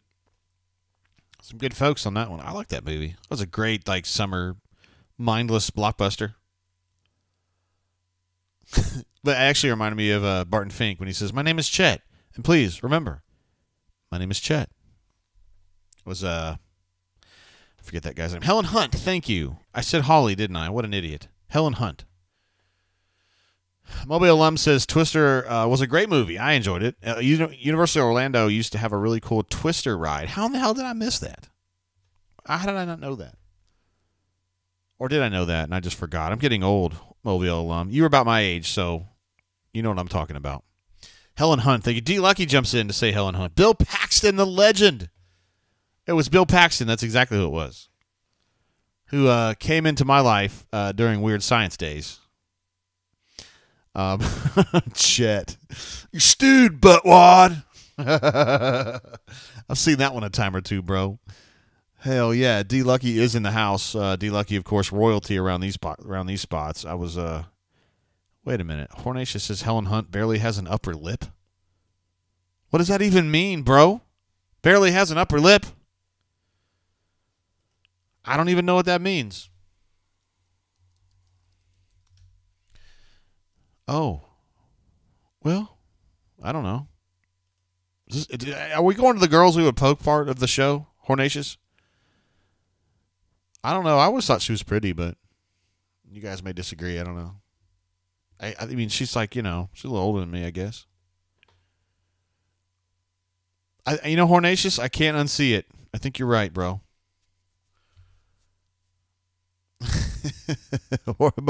Mobile Lum says JD didn't care about the weather in the 80s. Just watched to know if I needed a raincoat when I hit the supper club. Good answer. I would have thought you would have said 90s, but that's cool. Whatever, you know. You know, whatever. It's all good. I was definitely a weather nerd in the 80s. There's no doubt about it. Hornatius says he would poke Helen Hunt. That's good. Great. I'm sure she's fired up. Reynolds, look, I was just talking about Reynolds. He says, How dare you? The only weather character you need is Reynolds Wolf. And Kelly Cass, who is, come on, you know, Kelly Cass is great. Tremendous. I was Reynolds. I actually was saying earlier who I thought the O the uh, the OG weather girl was though, and to me it was Jeanette Jones. But and Cindy Preszler was at the Weather Channel. This is in like the mid '80s, mid or late '80s uh, who ended up going to WLKY in, in uh, Lexington, Kentucky. But Cindy Preszler was, I remember when they got her at WLKY, I was like, oh shit, we got a girl from the Weather Channel. Like, whoa. But Jeanette Jones to me was is the OG. I don't even know if Jim Cantore was around back then. He may have been. I was more worried about Jeanette Jones though. There we go. Blake R. Big weather guy fired up. And I know I represented Reynolds correctly earlier when I said he's from Jemison, Alabama. He's a Jacksonville State alum, and he's a lifetime Auburn enthusiast. Let's see, Hornatius. Hold on, I. I don't know if I feel comfortable saying that one on the air, bro. There he says Cantore and Jeanetta Jones is be- are better, and Kelly Cass, of course, his co-host on the show uh, Jeanetta Jones, who sadly I think was in a car accident. This this wasn't last week. This is a long, long time ago, and I think it kind of I think she had a hard time getting through that one. Reynolds, I don't know if you were on the show earlier, but I had great news to share about Kristi Malzahn. She's doing better. I got a couple messages from her earlier. She had sepsis, which I am told was very bad. However, she's good now, or she's better. She's a lot better now. She's to the point where she's you know messaging people, and that's great because we love Kristi Malzahn, and I know you like her too. Uh, Clint S. Great question. This is a guy who definitely was there to know this. He says, Wasn't she always knocked up? Yes, she was. She was constantly pregnant, it seemed like. I was going to say an inappropriate comment there, but I'm not going to. I mean, it is 3:46 on a on a Saturday. I mean, I don't need to be getting you know, it's not midnight or one o'clock in the Eastern Time Zone here. I don't understand what Auburn Dad for Life says. Reynolds, have you caught last AU Wishbone? I mean, guys were on it. I mean, guys were on it. Sharon Resultan, great call right there, bro. Although I don't necessarily know what you're trying to say there. I would have liked to have just Sharon Resultan. Thank you for reminding me of that. Sharon Resultan, also one of the OGs. Absolutely. Auburn Dad for Life says much love for Miss Kristi. Yes, we are very fired up about this. Um, because we haven't heard anything from Kristi uh, in like six weeks, and it was very concerning to me. Uh, but we have heard from her now twice today, and we're that's just this is really good news. Uh, I know she went home about a week ago, and I know she's. I mean, it, it, it isn't all butterflies and rainbows for her yet, but um, it's all good. It's all good. Um, what else we got to talk about? We've talked a bunch about a football. no, no, no. Canoe Man since 1 a.m. I can't do that. I got to go to dinner with my mom at 5. Uh, and I got to get over there first. And uh, I've already had a few, and she likes to get real accusatory. Like if if uh, if I come in and I'm a little bit drunk, you know, because sometimes we'll do these shows and I'll go say hi to my mom, and she's like, "Have you been drinking?" I'm like, no, mom, I promise I haven't been. I have been. These people on your uh, your email list. She thinks it's a big email list that I work for. They just Crystal's in the house. Crystal, of, of course, one of our most steadfast football fans who stops by from basketball from time to time. We love having her. She says, Thank the gods they won. Always time to beat Aggies. It's always time, right? It'd be better if it was Jimbo, but it's all good. Let's see. Blake says, Hornatius, my most pokeable weather chick is the Telemundo girl. That is a comment that would have worked in the 80s, 90s, or the 2000s, uh, for what it's worth, uh, if you're asking me my opinion. You're not, but if you did, I would tell you that right now. Uh, let's see. Auburn for Life says meant that Van and John, the host, were going off on Jabba.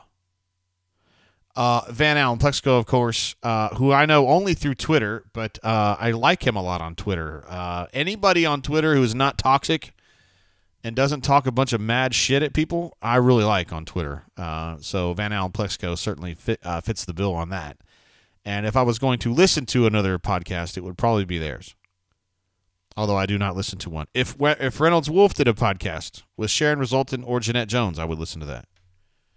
Or Christina Abernathy. I would or, or Jen Carfagno. I would do that too. Whatever. Whatever it took. And I was telling Courtney the other day, I wish I had a voice like Reynolds. He's just he's the best. Imagine if Reynolds had somehow in his life, if things had gone awry, and he ended up being a uh, a streamer, a part-time streamer such as me. How great he would be. So much more handsome than me, a better voice. But you know what? I'm just going to fight through with what I got. God made me cross-eyed.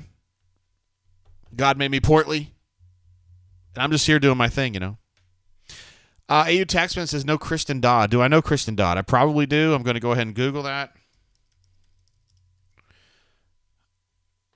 Uh, I don't think I know Kristen Dodd. First thing that comes up is a uh, Dallas Cowboys cheerleader, which I'm not opposed to. Uh, but no, I don't remember her as somebody that I would be paying attention to. Uh, my man, uh, Mike G says Wolf Reynolds.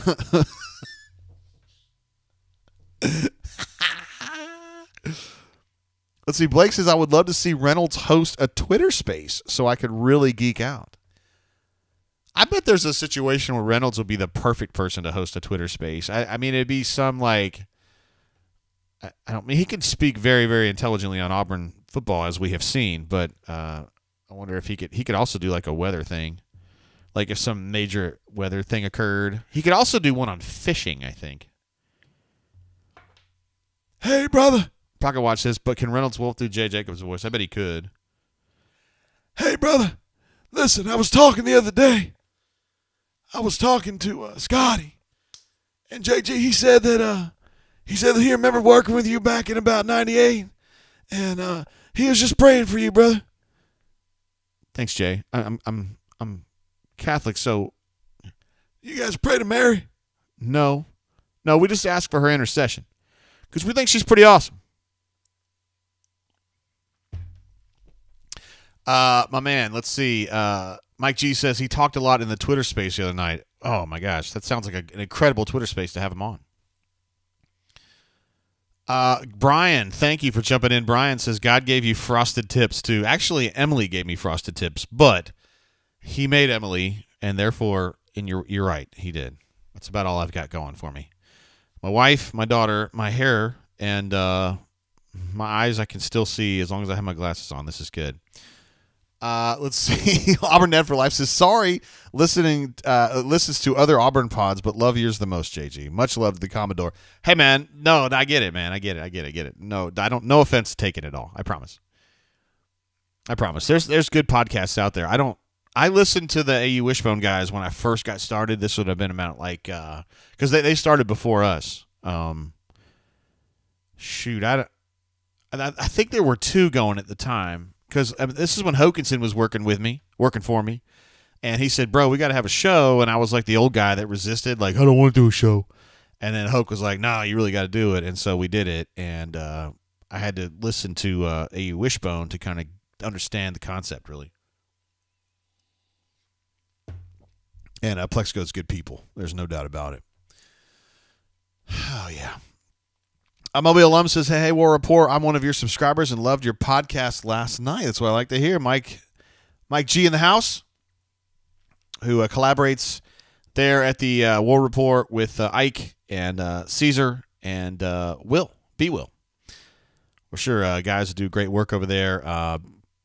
love the tone of the shit that they do. That's that's the thing I love about them is that it's not this hateful, negative accusing people of crazy stuff and, and, and, and trying to shoot down people that have different ideas. It's it's it's friendly. It's nice. I like that. I really really like that, and I feel like those guys need uh, need all the support they can get. They deserve more than they ever get because they they hustle like nobody's business, and I love the positivity, man. Uh, let's see. Mr. Matzer says, "Need a G Pits to hear you tell Neil about what has been going on, on, on, on." Yeah, I do. Uh, I had to skip on him a couple times this past week. He was trying, dude. Any anybody out there who's a G Pits listener and you're like, geez, Jay, why isn't there a show? It's all me.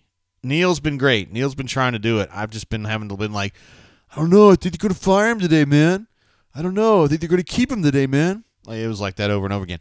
Actually, uh, uh, administrative assistant mentioned this morning that we ought to do a show, she and I, uh, in lieu of G Pits, because she knew that I had skipped out a couple times this week. So we may tape a show tomorrow uh, me and wifey. In fact, we probably will because the fact that she brought it up, don't start Hornacious.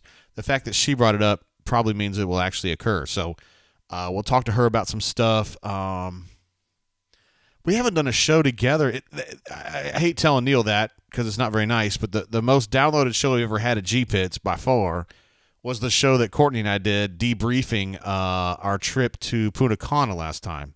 I think a lot of people found some uh, some value in that, some some some hilarity in that. Uh, as you guys know, I mean, my relationship with Courtney is a little odd.